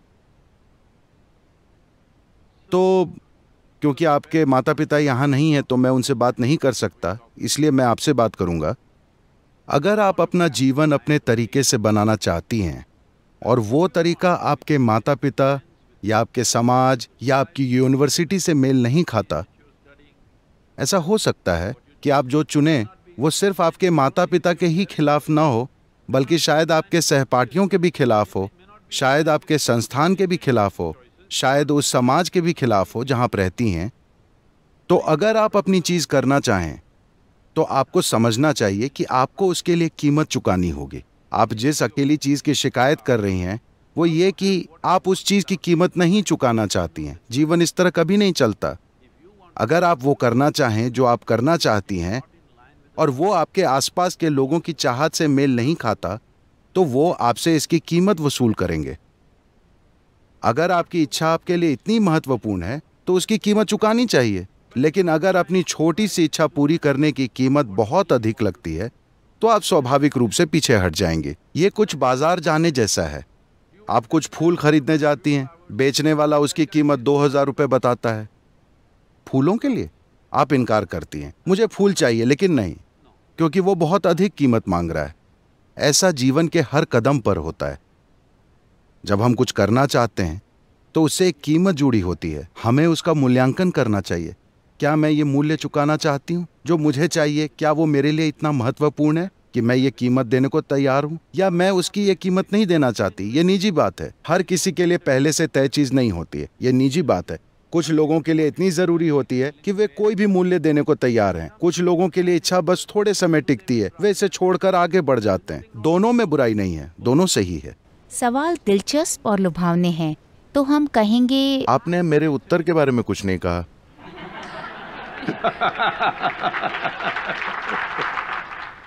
और हम उत्तरों से भी असहमत नहीं हो रहे हैं। ये केवल जेएनयू की तारीफ़ कर रही हैं। ये मुझे शामिल नहीं कर रही। क्या ये मेरी पहली ड्यूटी नहीं है? सदगुरु क्या हम कुछ और सवाल ले सकते हैं? मैं तैयार हूँ मैं तैयार हूँ। क्योंकि हमारे पास बहुत सारे सवाल हैं। सदगुरु मेरा सवाल ऐसे नहीं क्या आपने लेडी गागा को देखा है? सदगुरु मेरा सवाल शिक्षा प्रणाली के बारे में है जो हर जगह और खासकर भारत में अपनाई गई है। योर लॉर्डशिप माफ़ कीजिए, मैं एक वकील हूँ। तो सदगुरु, मेरा सवाल है कि हमारे देश की आदर्श शिक्षा प्रणाली कैसी होनी चाहिए, जिससे हम देश के हर व्यक्ति की भौतिक जरूरतों का ध्यान रखते हुए जीवन के हर आयाम की खोज कर सकें? धन्यवाद। देखिए, ऐसा कोई सिस्टम नहीं है जिसे आप लोगों के लिए बना सकें क्योंकि हमारे जीवन का समय सीमित है और शिक्षा हमारे जीवन का एक छोटा हिस्सा है। टू क्रिएट ऐसा सिस्टम जो सभी को जीवन के हर पहलू का अनुभव करवाए नहीं ये इस तरह काम नहीं करेगा। किसी की रुचि पढ़ाई में है उसे उस दिशा में जाना चाहिए। कोई बस एक रोज़गार चाहता है उसे उस दिशा में जाना चाहिए। किसी के पास दूसरे प्रकार की काबिलियत है उसको उस दिशा में जाना चाहिए। मुझे लगता है कि शुरू में ही मैं कहता हूँ कि 12 की उम्र तक सभी पर्याप्त रूप से साक्षर हो जाते हैं। वे इस देश में कम से कम एक या दो भाषाएँ पढ़ सकते हैं। आप अंग्रेज़ी भाषा और आप स्थानीय भाषा पढ़ सकते हैं, जो भी आपकी मातृभाषा है। इन दो भाषाओं को आप पढ़ सकते हैं और कागज़ पर लिखी बात को आप समझ सकते हैं। हमें बच्चे को 12 वर्ष तक इस स्तर तक लाना चाहिए। हमें उनको बहुत सारी चीज़ों से भरना नहीं चाहिए। बस भाषा और समझ। मैं जो पढ़ता हूँ, वो समझता हूँ। इतना काफ़ी है। अगर आप 12 साल की उम्र तक उन्हें इतना काबिल बना दें तो आप मूल्यांकन कर सकते हैं कि कौशल के आधार पर कौन जा सकता है। उसी चीज़ में थोड़े ऊँचे स्तर पर किसे जाना चाहिए? किसे पढ़ाई की दिशा में आगे जाना चाहिए? ये करना ज़रूरी है। अगर ऐसा नहीं होगा तो सभी शिक्षा की मशीन में ज़बरदस्ती धकेले जाएँगे। लोग आत्महत्याएँ कर रहे हैं। एक या दो नहीं। Twenty uh, 2016 में 18 बरस से कम के 17,600 युवाओं ने आत्महत्या की जिसमें लगभग 7,000 बच्चे 15 बरस से कम उम्र के हैं। अगर 12, 13, 14 साल के लड़के और लड़कियाँ खुद को मार रहे हैं तो क्या हम अपने समाज में कुछ बुनियादी गलती नहीं कर रहे हैं? हेलो बड़ी उम्र में नहीं, बल्कि 12-13 की उम्र के लड़के और लड़कियाँ, जब वे ऊर्जा से भरपूर होने चाहिए, उस समय वे अपना जीवन खत्म कर रहे हैं। तो बात साफ़ है कि हम बहुत बुनियादी गलती कर रहे हैं, है ना? और दुर्भाग्य से इन आत्महत्याओं में से 90 प्रतिशत शिक्षा से संबंधित है। कुछ दूसरी चीज़ें परिवार या कुछ और, लेकिन इनमें से 90 प्रतिशत शिक्षा से संबंधित है। निश्चित रूप से हमें शिक्षा पर विचार करने की ज़रूरत है कि बच्चों को शिक्षित कैसे करें। हम सभी को एक ही प्रक्रिया में डाल रहे हैं। हर व्यक्ति एक ही प्रक्रिया से गुजरने के लिए तैयार नहीं है। ये समझना बहुत ज़रूरी है। ये बच्चे को संभालने का सबसे क्रूर तरीका है। नमस्ते मैं बाहर हूँ? Oh, oh. मेरे दो सवाल हैं। पहला ये कि हम अच्छा करियर कैसे चुने? और दूसरा कि आ, आपको क्या लगता है कि मूल रूप से तकनीक या ख़ास तौर पर आर्टिफिशियल इंटेलिजेंस शिक्षा में कैसे सहायता कर रही है? ठीक है। हम पहले दूसरे सवाल का उत्तर देंगे क्योंकि in the last in the last two years, पिछले दो सालों से लोग मुझे अंतर्राष्ट्रीय सम्मेलनों में आर्टिफिशियल इंटेलिजेंस पर बोलने के लिए बुला रहे हैं। उन्होंने जब पहली बार बुलाया मुझे समझ नहीं आया कि मुझे क्यों आमंत्रित किया। Said, uh, मैंने कहा मैं बनावटी बुद्धि नहीं हूँ मैं कुदरती बुद्धि हूँ। आप मुझे बनावटी बुद्धि के लिए क्यों बुला रहे हैं? फिर उन्होंने बताया कि ये सभी की समस्या है कि अगर बनावटी बुद्धि आ गई तो हम अपनी नौकरियाँ खो देंगे। मैंने कहा इसका मतलब है कि आपको छुट्टियाँ मिलेंगी। जिसकी आपको हमेशा तलाश रहती है। अगर इस धरती पर मशीनें सारा काम करें तो इसमें समस्या क्या है? लोगों के लिए तो बहुत अच्छा होगा। हुँ? मुझे लगता है कि अगर मशीनें सभी मेहनत वाले काम करने लगे, आप यहीं देख सकते हैं। जैसे कि जेएनयू में आपने जो कुछ बनाया है, मान लीजिए कि आप इसका निर्माण कर रहे हैं तो आपको इसे बस एक कुदाली और एक लोहदंड से करना है। आपको कितना सारा काम करना पड़ेगा? क्योंकि मशीन और दूसरी चीज़ें आ गई हैं। कितना काम कम हो गया है। Because of that, जिसके कारण आपकी बुद्धि को नए अवसर मिले अगर आप एक लोहदंड से मेहनत कर रहे होते तो सिर्फ़ आपकी मांसपेशियाँ ही बढ़ती। तो अब राइट right now, इस समय दुनिया के ज़्यादातर काम जो आप कर रहे हैं और अधिकांश शिक्षा जो दे रहे हैं वो मूल रूप से सूचना इकट्ठा करना है। सूचना का भंडार करना। उसका विश्लेषण करना एक खास तरह से जोड़ना और लोगों के सामने अलग अलग तरीके से पेश करना इसे आप शिक्षा कहते हैं। लेकिन अब ये गूगल महिला आपके आसपास बैठे किसी भी इंसान से अधिक जानती है है ना? लगता है उसे सब कुछ आता है। आप उससे कुछ भी पूछिए बिना पल के झपकाए वो आपको दुनिया की हर चीज़ बता देगी। हाँ या नहीं? तो ऐसा समय आ रहा है। अब ये बस पाँच से दस साल की बात है। जो चीज़ आप आज पाँच साल के शोध से जान पाते हैं, एक मशीन उस पर काम करेगी, आप उसे सूचना देंगे, वो पाँच मिनट में काम कर देगी। ये मेरे साथ हुआ जब मैं छोटा था। मैंने पहली बार कैलकुलेटर देखा पैनासोनिक या सोनी कैलकुलेटर। उस समय वो लगभग सौ रुपए का था, सपाट कैलकुलेटर। हो सकता है आपको आजकल ऐसा सरल कैलकुलेटर ना दिखे। वो बहुत सरल था। जब उन्होंने पहली बार मुझे दिखाया, टुक टुक टुक। गणित तैयार। तो मेरे मन में पहला विचार ये आया कि फिर मैं ये बेकार सी गणित क्लास में क्यों जा रहा हूँ? अगर ये मशीन मेरे लिए जोड़, गुना कर सकती है, भाग दे सकती है कॉस थीटा साइन थीटा हर चीज़ कर सकती है तो ये लोग हमें इन चीज़ों से क्यों परेशान कर रहे हैं? मैंने कहा, बस मुझे ये चीज़ दे दो, मैं कभी गणित की क्लास में नहीं आऊँगा। मैं आपको वो सारे उत्तर दे दूँगा जो आपको चाहिए। मुझे कोई भी सवाल दो, मैं उसका हल दूँगा। इतने साल लगे हैं 45-50 साल से ज़्यादा। अब वो कैलकुलेटर इतना जटिल हो गया है कि आपके पूरे जीवन के ज्ञान से अधिक जान सकता हुँ? ये बहुत अच्छा है है ना? ये बहुत अच्छा है, वाकई बेहतरीन है, क्योंकि जैसे आपका शारीरिक काम मशीनों ने ले लिया था, भौतिक मशीनें, मैकेनिकल मशीनें, अब आपकी बुद्धि का काम एक अलग तरह की मशीन ले रही है। मुझे लगता है कि अब बेहतरीन समय आ रहा है। आपको जानकारी इकट्ठा करने, उस पर काम करने, उसके साथ जूझने, उसकी गलत व्याख्या करने, गलत समझने की चिंता ही नहीं करनी।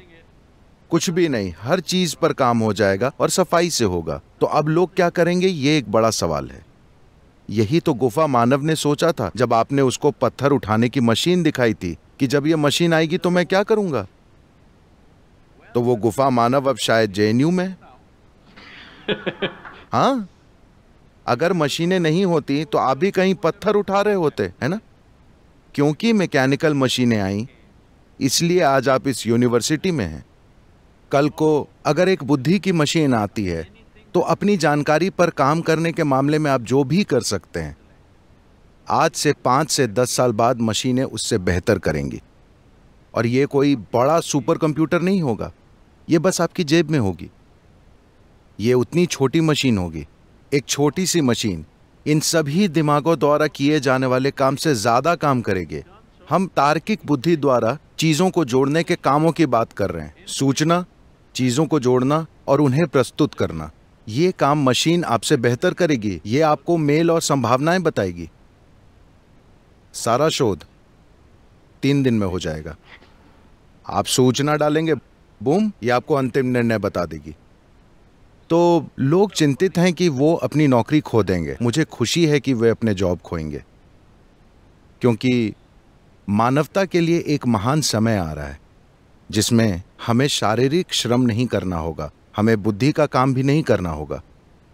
सिर्फ़ तब आप इंसान के अंदर मौजूद बुद्धि के दूसरे आयामों की खोज करेंगे। तार्किक बुद्धि, आपकी बुद्धि की सिर्फ़ ऊपरी सतह है। मुझे पता है इससे काफ़ी सारा, क्या आप इसे समझाने के लिए मुझे दो मिनट देंगे? क्योंकि आप जिसे इंटेलेक्ट कहते हैं, उसे बुद्धि कहते हैं, योग संस्कृति में। बुद्धि, मैं आपसे एक सवाल करता हूँ। आप में से जो जाग रहे हैं और सो रहे हैं, उनको इसका उत्तर देना चाहिए। अगर मैं आपसे पूछूँ कि आपको एक तेज बुद्धि चाहिए या सुस्त, आपका चुनाव क्या होगा? तेज। तो ज़ाहिर है कि बुद्धि काटने का औज़ार है है ना? आप इसे चाकू की तरह तेज चाहते हैं। तो हमारी शिक्षा प्रणाली के साथ जो हो रहा है और हम जिस तरह से समाज को बना रहे हैं दरअसल हम हर चीज़ करने के लिए चाकू का उपयोग कर रहे हैं। Somehow पिछले कुछ महीनों में मुझे ये कई बार याद आया है क्योंकि मुझे लगता है कि एक बार फिर से बरसों के बाद मैं फिर से मोटरसाइकिल चला रहा हूँ। पिछले तीस बरसों में मैंने जितनी चलाई उससे ज़्यादा तो कुछ यादें वापस आ रही हैं। मैं पूरे देश में बिना किसी कारण के मोटरसाइकिल चला रहा था। बस एक सिरे से दूसरे सिरे तक। देश की सीमा तक पहुँचता, फिर वापस आता, फिर दूसरी दिशा, फिर दूसरी दिशा। मैं बस अपनी जेब के पैसे गिनता था और आगे की यात्रा के किलोमीटर। ठीक है? तो एक बार ये कुछ ऐसा है जिस पर आपको शोध करना चाहिए। कुछ दिन ऐसे होते थे जब मैं तीन दिन और तीन रातों तक लगातार चलता रहता था, बिना रुके, बिना थके और बिना सोए। मैंने अपने सिस्टम में कुछ चीज़ें की थी, क्योंकि आप में से किसी ने सवाल किया था, क्या सीमन या वीर्य को किसी और चीज़ में बदला जा सकता है? यदि आप अपने सिस्टम में कुछ चीज़ें करें तो ये ऊर्जा से इतना भर जाता है कि तीन रात और तीन दिन तक उस जमाने की सड़कों पर 250 सीसी की यजदी मोटरसाइकिल पर चलते जाते हैं। जावा मोटरसाइकिल आज के समय जैसा नहीं था। कोई बड़ी बाइक या हाईवे, फोर लेन, कुछ नहीं। सभी सिंगल रोड, गड्ढों से भरी पीठ तोड़ू। लेकिन मैं लगातार बहत्तर से पचहत्तर घंटों तक बिना रुके चलता रहता था। केवल एक पेट्रोल पंप से दूसरे पेट्रोल पंप तक। तो एक पूरी रात बाइक चलाने के बाद, मैं यकीन से नहीं कह सकता हूँ कहाँ, पर मैं मध्य प्रदेश और उत्तर प्रदेश के बीच में कहीं था। सुबह सुबह मैंने अपनी बाइक एक ढाबे पर रोकी। सोचा कि एक चाय पीकर थोड़ी देर आराम करूँगा, फिर आगे बढ़ूँगा। मेरी चेन थोड़ी ढीली हो गई थी। मुझे नहीं पता आप सब अब भी मोटरसाइकिल चलाते हैं या सब मेट्रो वाले हो गए हैं। तो मैं अपनी मोटरसाइकिल को किसी को छूने नहीं देता था, क्योंकि मैं हर समय उस पर सवार रहता था। तो मैं किसी पर भरोसा नहीं करता। इंजन के काम से लेकर हर चीज़ खुद करता। लेकिन चेन थोड़ी ढीली हो गई थी। पूरी रात की राइड के बाद मैं वहाँ बैठा था, तभी मैंने देखा मुबारक मैकेनिकल वर्क्स हाथ से लिखा साइन। मैंने उस ओर एक लंबे जवान लड़के को देखा। मैंने कहा, क्या तुम मेरी चेन टाइट कर सकते हो? क्योंकि चेन को टाइट करना कोई बड़ी टेक्नोलॉजी नहीं है, बस हाथ बहुत गंदे हो जाते हैं। तो मैंने सोचा कि ये उसे करने देते हैं। तो उसने हाँ कहा और पूरे उत्साह के साथ आ गया। फिर मैंने देखा कि उसके हाथों में बस एक छेनी और एक हथौड़ा था। मैंने कहा, रुको, तुम क्या कर रहे हो? उसने कहा, अरे, मैं ये कर सकता हूँ। मैंने कहा, तुम्हारे पास कोई और औज़ार नहीं है? फिर मैं उसकी छोटी सी दुकान, जो उसका गैराज थी, उसमें गया। वहाँ पर बस कुछ छेनियाँ और बड़े छोटे हथौड़े थे। ये बंदा हर चीज़ छेनी और हथौड़े से करता था। वो शायद कर लेता, लेकिन ऐसा करने के बाद वो मशीन आखिरी बार ठीक हो रही होगी। उसके बाद उसका काम खत्म। ठीक है? मैंने कहा, तुम मेरे मोटरसाइकिल को हाथ मत लगाना। ये मैं इसलिए कह रहा हूँ क्योंकि इस समय हमारी शिक्षा व्यवस्था इसी तरह से है। हम हर चीज़ को अपनी बुद्धि के एक ही आयाम से कर रहे हैं, जो कि तार्किक बुद्धि है। तार्किक बुद्धि केवल तब अच्छी है, जब वो तेज है, वरना वो अच्छी नहीं होगी। अगर आप हर चीज़ करने के लिए एक तेज औज़ार का उपयोग करेंगे तो यह पक्का है कि आप चीथड़ों में नज़र आएँगे। इसी कारण 30, 40, 50, 60 बरस की उम्र में भी लोगों को नहीं पता कि वे अपने विचारों और भावनाओं को किस तरह संभालें। आप कब सीखेंगे? क्या आप दस हज़ार बरस जिएँगे? वो समय कब आएगा जब आप सीखेंगे कि अपने विचारों और भावनाओं को कैसे संभालें? आप इसे तनाव कह सकते हैं बेचैनी कह सकते हैं कष्ट कह सकते हैं पागलपन कह सकते हैं। मूल रूप से आप अपने विचारों और भावनाओं को संभालना नहीं जानते। बस इतनी सी बात है है ना? इसलिए है क्योंकि आप बुद्धि के एक पहिए पर सवार हैं, जबकि बुद्धि के अनेक पहिए हैं। केवल एक पहिया घूम रहा है, दूसरे या तो फंस गए हैं या आपने कभी इनकी खोज नहीं की। तो ये बहुत महत्वपूर्ण है कि जब बनावटी बुद्धि आ जाएगी तो आप जो कुछ भी तार्किक बुद्धि से कर सकते हैं, एक छोटी मशीन कर देगी। अब मुझे लगता है कि लोग दूसरे आयामों की खोज करेंगे। मुझे लगता है मेरी अहमियत बढ़ जाएगी। जितनी जल्दी बनावटी बुद्धि आती है मेरी अहमियत उतनी जल्दी बढ़ेगी क्योंकि फिर वो ये सवाल पूछेंगे कि मैं और क्या कर सकता हूँ। ऐसी बहुत सारी चीज़ें हैं जो आप कर सकते हैं। मैं किमसी सोनकर हूँ और मैं आप कहाँ हैं आप कहाँ हैं? ओ स्क्रीन पर। मैं बाहर बैठी हूँ। मैं जेएनयू में एक पीएचडी स्कॉलर हूँ और मैं हमेशा नैतिक असमंजस में रहती हूँ कि जब मैं मेस का खाना खाती हूँ तो वो कभी भी स्टैंडर्ड का नहीं होता है। हम हम खाने के मूड में तो जाते हैं लेकिन हम खाना नहीं चाहते। और मैं अंत में काफ़ी सारा खाना बर्बाद कर देती हूँ। So. तो मुझे समाधान चाहिए। मैं उस खाने को खाने का मूड कैसे बनाऊँ? जिसे मैं कतई पसंद नहीं करती। क्योंकि क्योंकि मैं देखती हूँ कि लोग खाने के एक दाने के लिए मर रहे हैं और मैं यहाँ पर खाने को बर्बाद कर रही हूँ। सारी सुविधाएँ मिल रही हैं, लेकिन मैं वो खाना नहीं खा पाती। मैं खाना बनाने वालों को बताने की चाहे जितनी मेहनत कर लूँ कि थोड़ा यदि आप इस बात का डेमो चाहते हैं कि आपको इस मेस के खाने को कैसे खाना चाहिए। अगर आप दे सकें। हाँ अगर आपको डेमो चाहिए तो आप मुझे डिनर पे लेके चलें अपने मेस में।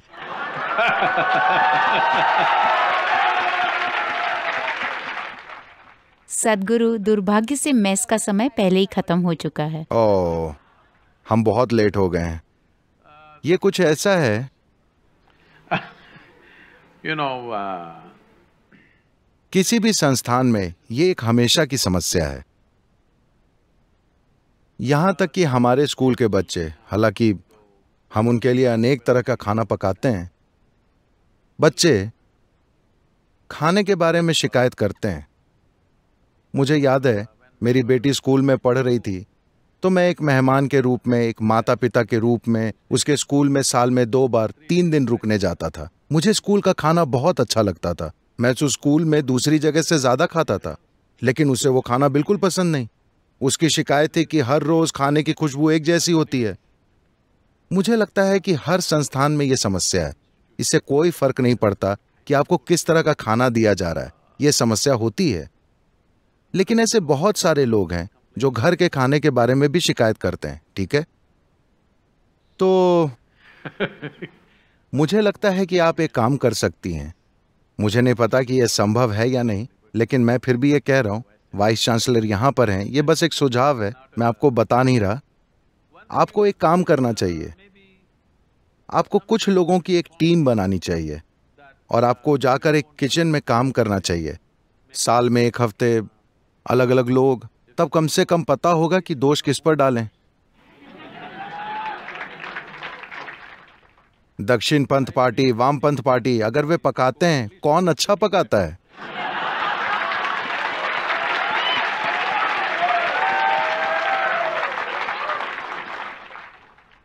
अगर वे अच्छा खाना पकाएँ तो शायद कुछ मेल भी हो जाए। सदगुरु, जब भी मुझे किसी रोल मॉडल की किसी उपलब्धि या महान क्षमता के बारे में पता चलता है तो खुद भी उसे अपना बनाने की, उसे हासिल करने की एक सहज इच्छा पैदा होती है। लेकिन फिर, उस इच्छा की गहराई की वजह से मुश्किल खड़ी हो जाती है। तो जीवन की ऐसी इच्छाओं तक असल में पहुँचने का सही तरीका क्या है?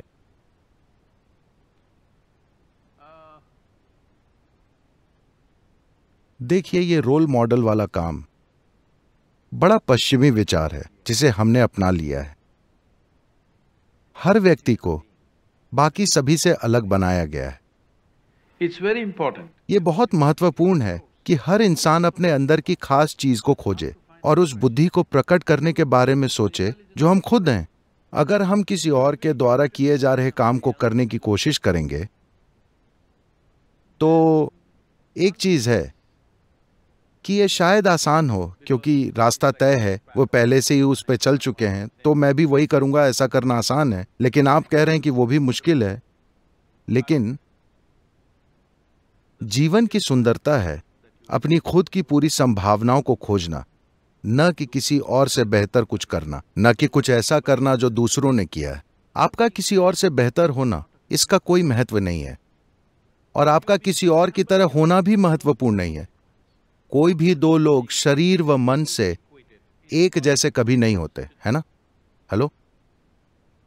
शरीर व दिमाग से आप दो लोगों की कभी भी तुलना नहीं कर सकते। ये एक तरह का है और वो दूसरी तरह का है। पूरी तरह से अलग। कभी भी ये दो चीज़ें एक सी नहीं हो सकती। जो करना है वो कीजिए। तो मानव होने की ये खूबसूरती है। किसी की नकल करके इसे नष्ट मत कीजिए। नकल को अपने विकास के पिछले चरण में ही हमें छोड़ देना चाहिए था। क्या आप समझे?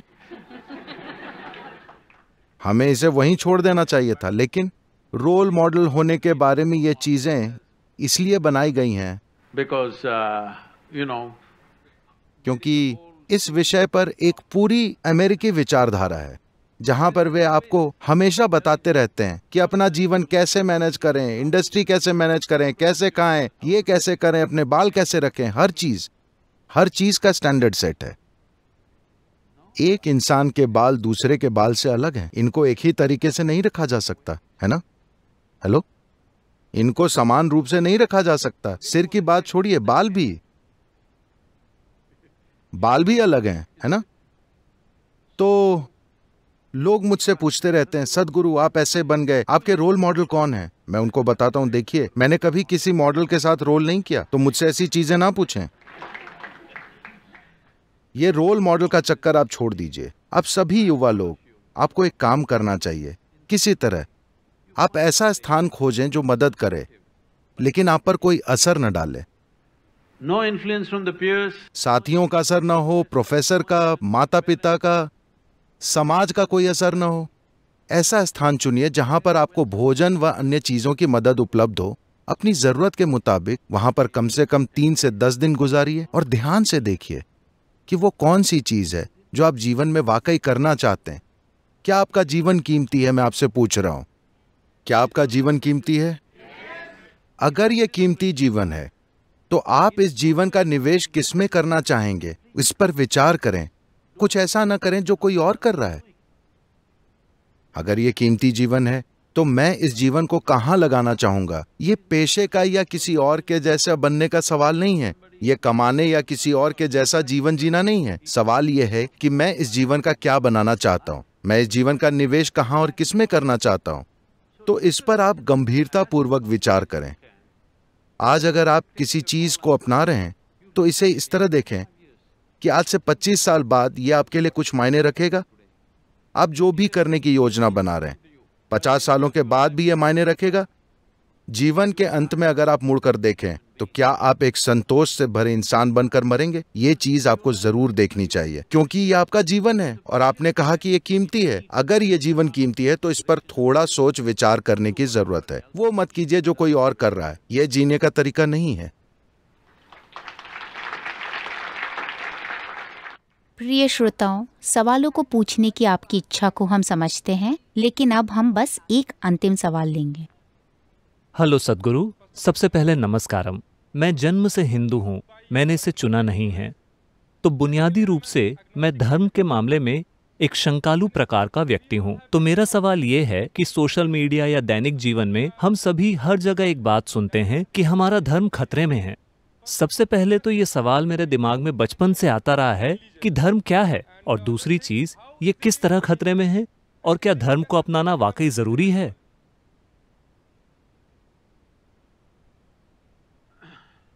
देखिए मैं कुछ मिनट लूँगा उसने एक सवाल पूछा बिल्कुल बिल्कुल। देखिए मैं चाहता हूँ कि आप इस राष्ट्र के अतीत में देखें कि इस राष्ट्र का संदर्भ क्या है। अगर आप इस देश के इतिहास पर नज़र डालें तो एक समय ऐसा था जब यहाँ पर 200 से अधिक राजनीतिक इकाइयाँ थीं। मेरा मतलब है राजा, छोटे राज्य, बड़े साम्राज्य। कभी कभार कुछ राजा आए और इनको जीतकर एक बड़ा साम्राज्य कायम किया। कभी कभार ये छोटे हिस्सों में बट गया।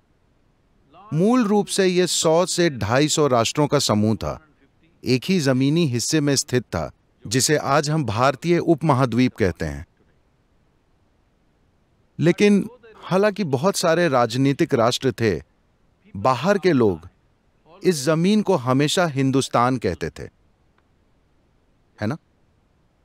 आज भी अगर आप अरब में जाएँ, जैसे लेबनन और जॉर्डन या ऐसे स्थानों पर,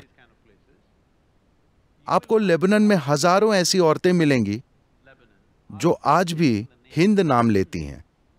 ये एक नाम है, क्योंकि उनकी भाषा में हिंद का अर्थ है भारत। मैंने उनसे पूछा, पहली बार जब मैं गया, मुझे आश्चर्य हुआ, आप इंडिया नाम क्यों ले रही हैं? मेरा मतलब है लेबनन में आप भारतीय क्यों हैं? उन्होंने कहा, नहीं, ये हमारी संस्कृति है। हम हमेशा भारत से जुड़े रहे हैं। शायद ये लोग उनमें से हैं जो काफ़ी समय पहले वहाँ चले गए थे। वे अब उस संस्कृति का हिस्सा बन गए। वे वैसे दिखते हैं उनकी हर चीज़ वैसी ही है। हज़ारों साल पहले की बात होगी उन्हें घर की याद सता रही होगी। जब आपको घर की याद आती है तो आप अपनी बेटी का नाम इंडिया रखते हैं जिससे आप रोज इंडिया इंडिया बोल सकते हैं। क्योंकि मुझे अपना देश याद आ रहा है। तो वो परंपरा आज भी वहाँ है। लेकिन तब भी वहाँ उन्होंने इसे हिंद या हिंदुस्तान कहा। हालाँकि हमारे इस उपमहाद्वीप में बहुत से राष्ट्र थे। तो उन्होंने इस देश को हिंदुस्तान क्यों कहा? एक बात तो यह है कि यह भौगोलिक पहचान है। ये धरती हिमालय और इंदु सागर के बीच में स्थित है, जिसे आज हम हिंद महासागर कहते हैं। उन्होंने इसे हिंदुस्तान कहा। हिमालय, इंदु सागर के बीच का हिस्सा हिंदुस्तान है। तो ज़मीन से जुड़ी पहचान दी गई थी, लेकिन कोई राजनीतिक पहचान नहीं थी। कोई भाषा की पहचान नहीं थी, कोई धार्मिक पहचान नहीं थी। ये बहुत महत्वपूर्ण है क्योंकि वे उन दिनों भी ये नहीं समझ पाए थे कि हम कौन थे। जैसे कि आज भी आप तय नहीं कर पा रहे हैं कि आप कौन हैं, इसलिए आप ये सवाल पूछ रहे हैं। उन दिनों भी यही सवाल, जैसे आपके वाइस चांसलर ने पूछा, सदगुरु, आप मेरे सवाल का उत्तर दे सकते हैं कि मैं कौन हूँ? तो हम आज भी पता नहीं लगा पाते कि हम कौन हैं। क्योंकि ये खोज की ज़मीन रही है। कभी भी विश्वास की ज़मीन नहीं रही। अगर आपको धर्म चाहिए, मूल रूप से, जब कोई कहता है, मैं धार्मिक हूँ तो वे कहते हैं, मैं विश्वासी हूँ, है ना? आइए विश्वास शब्द को समझें। आप में से कितने लोगों को यह विश्वास है कि आपके दो हाथ हैं? ऐसे सारे लोग कृपया कम से कम एक हाथ उठाएँ। आप विश्वास करते हैं कि आपके दो हाथ हैं, या आप जानते हैं कि आपके दो हाथ हैं? आप जानते हैं, यदि कोई आपसे यह तर्क करे और यह सिद्ध करने की कोशिश करे कि आपके दो हाथ नहीं हैं और यह बहस बहुत भयंकर हो जाए तो चेहरे पर एक थप्पड़, तब वो जान जाएगा कि आपके पास हाथ है। लेकिन आप बहुत सी चीज़ों में विश्वास करते हैं। आप स्वर्ग में विश्वास करते हैं, ईश्वर में आप बहुत सारी चीज़ों में विश्वास करते हैं। क्यों विश्वास? सिर्फ़ इसलिए क्योंकि आप अपने जीवन में इतने सच्चे भी नहीं बन पाए कि आप ये भी नहीं कह सकते कि जो मैं नहीं जानता, वो नहीं जानता। ये गंभीर समस्या है। आप जो कुछ भी नहीं जानते, उसके बारे में कहते, मैं विश्वास करता हूँ। ये बहुत इंसानियत से भरा और शानदार काम होगा। अगर आप कहें कि मैं जो कुछ नहीं जानता, मैं उसे नहीं जानता, है ना? मैं नहीं जानता एक ज़बरदस्त संभावना है। जब आप ईमानदारी से अपने अंदर ये कहते हैं, मैं नहीं जानता तो जानने की लालसा, जानने की इच्छा और जानने की संभावना आपके जीवन की सच्चाई बन जाती है। वरना हर वो चीज़ जो आप नहीं जानते, उस पर आप विश्वास करते हैं। जब आप विश्वास करते हैं, वो आपको आत्मविश्वास देता है। स्पष्टता के बिना आत्मविश्वास होना मानवता के साथ सबसे खतरनाक चीज़ घटी है। आत्मविश्वास। सभी प्रकार के बेवकूफों में आत्मविश्वास। जब आप नहीं जानते तो कम से कम झिझक तो होनी चाहिए, है ना? हुँ? जब आप स्पष्ट रूप से नहीं देख सकते तो आप में झिझक होनी चाहिए। आप स्पष्ट नहीं देख पा रहे हैं, फिर भी आत्मविश्वास है तो क्या आप एक मुसीबत नहीं हुए? या तो आप खुद के लिए मुसीबत हैं, या आसपास सभी के लिए। तो ये भूमि कभी भी विश्वास की प्रणालियों से नहीं जुड़ी हुई थी। ये हमेशा से खोज करने वालों की भूमि रही है। किस चीज़ की खोज? सत्य और मुक्ति के खोज करता। बस कल ही मैं बीएचयू काशी में था। अब बस देखिए वहाँ पर सारे देश और आजकल पूरी दुनिया से लोग आ रहे हैं। किस चीज़ की तलाश में? मुक्ति। मुक्ति सबसे अधिक मूल्यवान रही है। इस संस्कृति में ईश्वर को सबसे अधिक मूल्य नहीं दिया गया। आप जिन लोगों की पूजा करते हैं वे सारे लोग इस धरती पर किसी न किसी समय पर चले है ना? They were not superheroes. और वे सुपर हीरो नहीं थे। वे आकाश से नहीं टपके, या हवा में नहीं उड़े थे, या पानी वगैरह पर नहीं चले थे। वे भी उन्हीं मुसीबतों से गुजरे थे जिनसे आप गुजर रहे हैं। आपसे कहीं ज़्यादा मुसीबतों से गुजरे थे। अगर आप किसी का भी उदाहरण लेना चाहें, शिव, राम, कृष्ण, कोई भी, जो भी इस देश के मुख्य देव हैं, चलिए राम को लेते हैं, क्योंकि वे हमेशा से राजनीतिक विवाद में रहे वे आज भी रियल एस्टेट समस्या में उलझे हैं।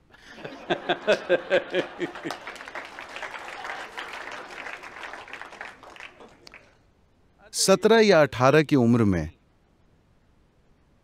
वे अपने हक से राजा बने, क्योंकि उन दिनों में पिता से पुत्र को यह हक मिलता था। वे एक युवा राजकुमारी से शादी करते हैं, थोड़े ही समय में किन्हीं राजनीतिक परिस्थितियों की वजह से उनको जंगल भेज दिया जाता है। आपके टेलीविज़न पर आपने जो कुछ देखा हो या किसी मूवी में आपने सीताराम को जंगल में हनीमून मनाते देखा हो। नहीं, उन्हें देश से निकाला गया था। जंगल जाना कोई पिकनिक नहीं है। आप में से अधिकांश लोग शायद ना जानते हो, मैं जंगल में अकेले रहा हूँ बिना किसी बाहरी मदद के। तीन हफ्तों के बाद जब मैं घर वापस आता था तो मेरी माँ मुझे देखकर पहचान नहीं पाती थी, क्योंकि सिर से पाँव तक कीड़ों के काटने के निशान होते थे। यहाँ वहाँ आपको कोई पहचान नहीं सकता खास तौर से लड़कियाँ। जब वे दो तीन हफ़्ते के बाद आएँगी तो आप उनको नहीं पहचान सकते, क्योंकि हर चीज़ सूझ जाएगी। अगर आप जंगल में रहें तो आपके साथ हर तरह की चीज़ें होंगी। तो एक युवा पत्नी को ले जाना, जो आदिवासी महिला नहीं है, एक राजकुमारी है। जंगल जाना कोई पिकनिक या हनीमून नहीं था। ये देश निकाला था। और मानो इतना ही काफ़ी नहीं था, श्रीलंका के लोग आए और पत्नी का अपहरण करके ले गए। हाँ? यही हुआ था ना? कुछ भी हो, वो एक राजा है। अगर एक पत्नी चली जाए तो वो एक कोई स्थानीय समाधान खोज सकते थे। एक राजा को कई पत्नियों का अधिकार है, लेकिन एक चली गई है तो वे अपने लिए कोई दूसरी ला सकते थे। लेकिन वो आदमी उस महिला को इतना प्रेम करता है कि उन दिनों में जीपीएस नहीं था। आपको पता नहीं? आपको नहीं पता कि श्रीलंका असल में है कहाँ पर? बस वो और उनके भाई यात्रा कर रहे हैं। मैं चाहता हूँ कि आप उनकी यात्रा की कल्पना करें। अयोध्या से दक्षिणी भारत, कोई सरल खोज नहीं है। कितने लोगों ने अपनी खोई हुई पत्नी को 6000 7000 वर्ष पहले 2000 से अधिक किलोमीटर पैदल यात्रा करके खोजा होगा। कितने पुरुषों ने ऐसा किया होगा? तो वे चले और एक तमिल फौज बनाई। फिर श्रीलंका गए। एक खूबसूरत शहर जलाया, एक युद्ध लड़ा, सैकड़ों लोगों को मारा, अपनी पत्नी को वापस हासिल किया। तो अगर एक आदमी को यह सब करना पड़े तो वो महिला उनके लिए कितना मायने रखती होगी, है ना? और वे उनको वापस ले आए, वो फिर से राजा बनते हैं, फिर कुछ गलत हो जाता है, तब तक वो गर्भवती हैं। देखिए, राजा की पत्नी या रानी गर्भवती हैं तो ये कोई मामूली बात नहीं है, ये उस राष्ट्र का भविष्य है। ये एक बड़ी बात है, ये कोई मामूली बात नहीं है। और वे तब तक एक बड़े सम्राट हो गए थे। लेकिन कुछ गड़बड़ी हो जाती है और वे अपने पत्नी को फिर से जंगल भेज देते हैं। कोई सोनोग्राम नहीं। तो उनको पता नहीं कि बच्चा लड़का है या लड़की, लड़के हैं या लड़कियाँ। यह राजा के लिए छोटी बात नहीं है। अगर वो लड़का होगा तो राजा के भविष्य के लिए हर तरह से महत्वपूर्ण है। लेकिन उनको नहीं पता। वे अपनी पत्नी को जंगल भेज देते हैं। फिर वे दो लड़कों को जन्म देती है। उनको नहीं पता। अगर किसी व्यक्ति के जीवन में वाकई कोई भयानक घटना होनी हो तो वो ये कि जाने अनजाने में वो अपने ही बच्चों को मार दे। ये सबसे बुरी चीज़ आपके साथ होगी, है ना? उन्होंने अपने बच्चों को लगभग मार ही डाला था। उनसे युद्ध लड़ा। उनका इरादा तो मार ही देने का था। न जानते हुए कि वे उनके ही बच्चे हैं। सौभाग्य से यह नहीं हुआ, लेकिन फिर भी वे अपनी पत्नी को फिर से नहीं देख पाए। वे जंगल में ही मर गई। आप इसे एक सफल कथा नहीं कह सकते, है ना? हेलो आप इसे सफल कथा नहीं कह सकते। तो फिर हम इस आदमी की पूजा क्यों करते हैं? इस व्यक्ति को महान क्यों मानते हैं? सीधी सी बात है कि जीवन ने उनके साथ जो कुछ भी किया, दूसरों के जीवन में एक भी वैसी चीज़ होती तो वे टूट जाते, वे हादसों का एक सिलसिला है। लेकिन, इन सभी बातों के बावजूद भी, वे गुस्सा नहीं हुए, वे परेशानी, नफरत से नहीं भरे, उन्होंने हर समय अपना संतुलन बनाए रखा। पीछे नहीं हटे, वे हर वक्त उच्च व्यवहार करते चले गए, और बस, और जब वे श्रीलंका से वापस आए तो उन्होंने कुछ और ज़बरदस्त किया। रावण को मार देने के बाद वे हिमालय में एक बरस का प्रायश्चित करना चाहते थे। उनके भाई लक्ष्मण ने कहा आप पागल हो गए। आपने एक आदमी को मारा जिसे हमें मारना था उसने आपकी पत्नी का अपहरण किया था तो फिर आप उस इंसान के लिए प्रायश्चित क्यों करना चाहते हैं? उन्होंने कहा देखो उसमें दस मूल स्वभाव थे उसके नौ गुण मैंने मार डाले कोई पश्चाताप नहीं। लेकिन वो एक महान भक्त भी था और मैंने बाकी सारी चीज़ों के साथ उस भक्त को भी मार डाला। इसके लिए मुझे तप करना होगा। क्योंकि यह व्यक्ति अपने आसपास होने वाली घटनाओं से मुक्त था दुनिया के सबसे भयंकर कष्ट उसकी ओर आए। वो जैसा था वैसा बना रहा। इस आज़ादी को जीवन मुक्ति कहते हैं। यही वो आज़ादी है जिसके लिए हम उनके सामने नतमस्तक होते हैं। इसलिए नहीं कि वो महान हीरो थे या सफल व्यक्ति थे। तो इन दिस कल्चर इस संस्कृति में अकेली मूल्यवान चीज़। जीवन की प्रक्रिया से मुक्ति को हासिल करना है। जीवन आपके सामने जो परिस्थितियाँ फेंके, ये आपका चुनाव नहीं है। वो आपके सामने अलग अलग परिस्थितियाँ फेंकेगा। आप उन्हें किस रूप में बदलते हैं, ये आपका चुनाव है है ना? तो हमने हमेशा इस संस्कृति में कहा है, आजकल लोग ऊपर वाले की बात करने लगे हैं। वरना इस संस्कृति में हमने हमेशा आपको बताया है कि आपका जीवन आपका कर्म है। हाँ या ना? तो इसका क्या मतलब है? इसका अर्थ है, आपका जीवन आपका बनाया हुआ है। ऊपर कोई बैठा आपके जीवन को मैनेज नहीं कर रहा है। देखिए, आप एक गोल ग्रह पर हैं और ये चीज़ घूम रही है। आप तो ये भी नहीं जानते कि कौन सा सिरा ऊपर है। हेलो क्या आपको पता है कि इस ब्रह्मांड में कौन सा साइड ऊपर है? मैं आपसे पूछ रहा हूँ। क्या कहीं पर लिखा है, ये सिरा ऊपर है? तो आपको ये नहीं पता कि ऊपर कहाँ है, लेकिन आपको ये पता है कि ऊपर कौन है। यह गंभीर समस्या है। नहीं, ये हंसने वाली बात नहीं है, क्योंकि ये लोगों का जीवन ले रहा है।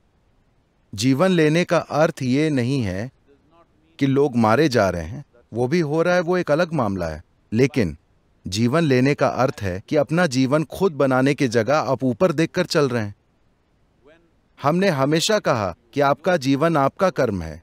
आप जो बनाते हैं, वही सब कुछ है। जो कुछ आपके सामने आ रहा है, वो आपके हाथ में नहीं है। लेकिन आप इसे क्या रूप देते हैं, वो सौ प्रतिशत आपके ऊपर है। तो विचार इतना सा है कि इस संस्कृति की बुनियादी प्रकृति धर्म नहीं है। ये ईश्वर विहीन देश है। आप इस बात को जान लें। ऊपर कोई एक ईश्वर कभी नहीं रहा है। हम कुछ लोगों की पूजा करते हैं। देखिए, ये बिल्कुल सटीक है। आज लोग कहते हैं कि तेंदुलकर क्रिकेट का भगवान है। जीवन के किसी भी क्षेत्र में जब इंसान अधिक महानता हासिल करता है, किसी सामान्य इंसानी स्तर से अधिक तो हम कहने लगते हैं, ओह, वो भगवान के समान है, वो देव है।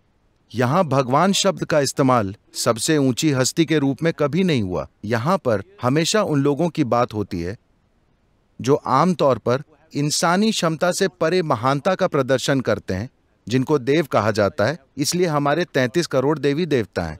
आपको और अधिक बनाने चाहिए। कोई समस्या नहीं है, क्योंकि ये इस पृथ्वी की अकेली ऐसी संस्कृति है, जो समझती है कि भगवान हमने बनाए हैं। सभी को लगता है कि भगवान ने उन्हें बनाया है।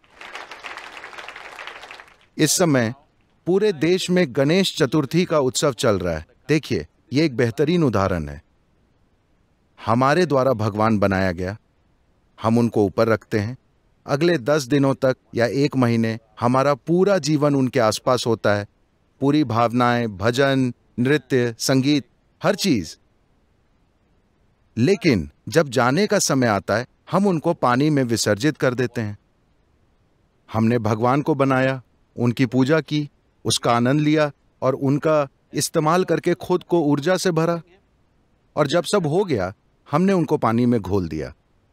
यह स्पष्ट रूप से दिखाता है कि हमें इस बात की समझ है कि भगवान हमारी रचना है है ना? तो यहाँ पर सिर्फ़ आध्यात्मिक प्रक्रिया रही है, अनेक आध्यात्मिक प्रक्रियाएँ। लेकिन धर्म कभी नहीं था। हम मुकाबला करते हुए धार्मिक बन गए। जब बाहरी ताकतें आईं और बहुत सारा मुकाबला हुआ तो हम भी संगठित होने का प्रयास करने लगे। लेकिन आप इस संस्कृति को कभी संगठित नहीं कर सकते हैं, क्योंकि अगर तीन लोग हैं तो राय पाँच हैं। एक ही घर में दस भगवान हैं। तो ऐसे में आप धर्म का निर्माण कैसे करेंगे? नहीं। ये बस एक प्रक्रिया है, जिसमें आप हर चीज़ का इस्तेमाल अपनी मुक्ति, अपने मोक्ष के लिए करते हैं। अपनी माताओं की बातचीत को सुनिए, या आप युवा हैं, अपनी दादी माँ की बातचीत को सुनिए। आध्यात्मिक बातचीत नहीं, रोज की बातचीत को सुनिए। तो आप पाएँगे कि इस देश में कर्म, प्रारब्ध, मुक्ति, मोक्ष शब्दों के बिना कोई बातचीत पूरी नहीं होती है। ये इस बात की लगातार याद दिलाता है कि आप जो कुछ भी कर रहे हैं, आपकी शिक्षा, परिवार, व्यापार आध्यात्मिकता हर चीज़ सिर्फ़ आपकी मुक्ति के लिए है। हमेशा मुक्ति ही आपका सबसे ऊँचा लक्ष्य है। स्वर्ग या भगवान नहीं।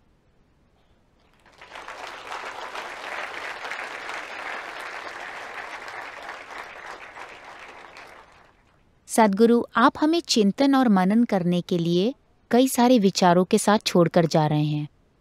इस अवसर पर हम आपको जेएनयू के युवाओं के साथ आज शाम इस बेहतरीन बातचीत के लिए, अपना कीमती समय बिताने के लिए धन्यवाद देते हैं। हम मोहित चौहान की शानदार प्रस्तुति के लिए भी धन्यवाद देना चाहते हैं। मुझे विश्वास है कि हम सभी ने इसे पसंद किया और ईशा संस्कृति को कलरी प्रदर्शन के लिए धन्यवाद। क्या मैं कुछ शब्द कह सकता हूँ? इस अवसर पर मैं बस आप लोगों को ये ध्यान दिलाना चाहता हूँ कि आप, जैसा कि आपने कहा, आठ हज़ार लोग, बावन सौ शोधकर्ता और बाकी लोग अनेक प्रकार की पढ़ाई कर रहे हैं। लेकिन मैं चाहता हूँ कि आप समझें कि आप इस देश के लाखों युवाओं में से कुछ विशेष लोग हैं। आपको इस विशिष्ट संस्थान में होने का विशेष लाभ हासिल है। जिस तरह की सुविधा और दूसरी चीज़ें जो यहाँ पर हैं इस देश के अधिकांश लोग ऐसी सुविधाओं के सपने भी नहीं देख पाते ठीक है? So, देखिए आपको ये ज़रूर समझना चाहिए कि जब आप युवा होते हैं तो ये सबसे ज़रूरी है कि जीने की जल्दबाजी में ना रहें। ये खुद को बनाने का समय है। यह आपके शरीर को बनाने मस्तिष्क अपने दृष्टिकोण को बनाने का समय जिससे कि आपके अस्तित्व के क्षितिज का विस्तार हो। आपके जीवन के इस समय का निवेश उसमें होना चाहिए, क्योंकि जैसा कि मैंने पहले कहा, केवल महान मानवों के निर्माण से ही महान समाज, राष्ट्र और विश्व का निर्माण होता है। तो ये मेरी इच्छा और आशीर्वाद है कि आप सभी यूनिवर्सिटी में अपने इस समय का अच्छा उपयोग करें, जिससे कि आप एक सच्चे बेहतरीन मानव के रूप में, भविष्य में मानवता के कल्याण के लिए योगदान कर सकें। आपका बहुत बहुत धन्यवाद।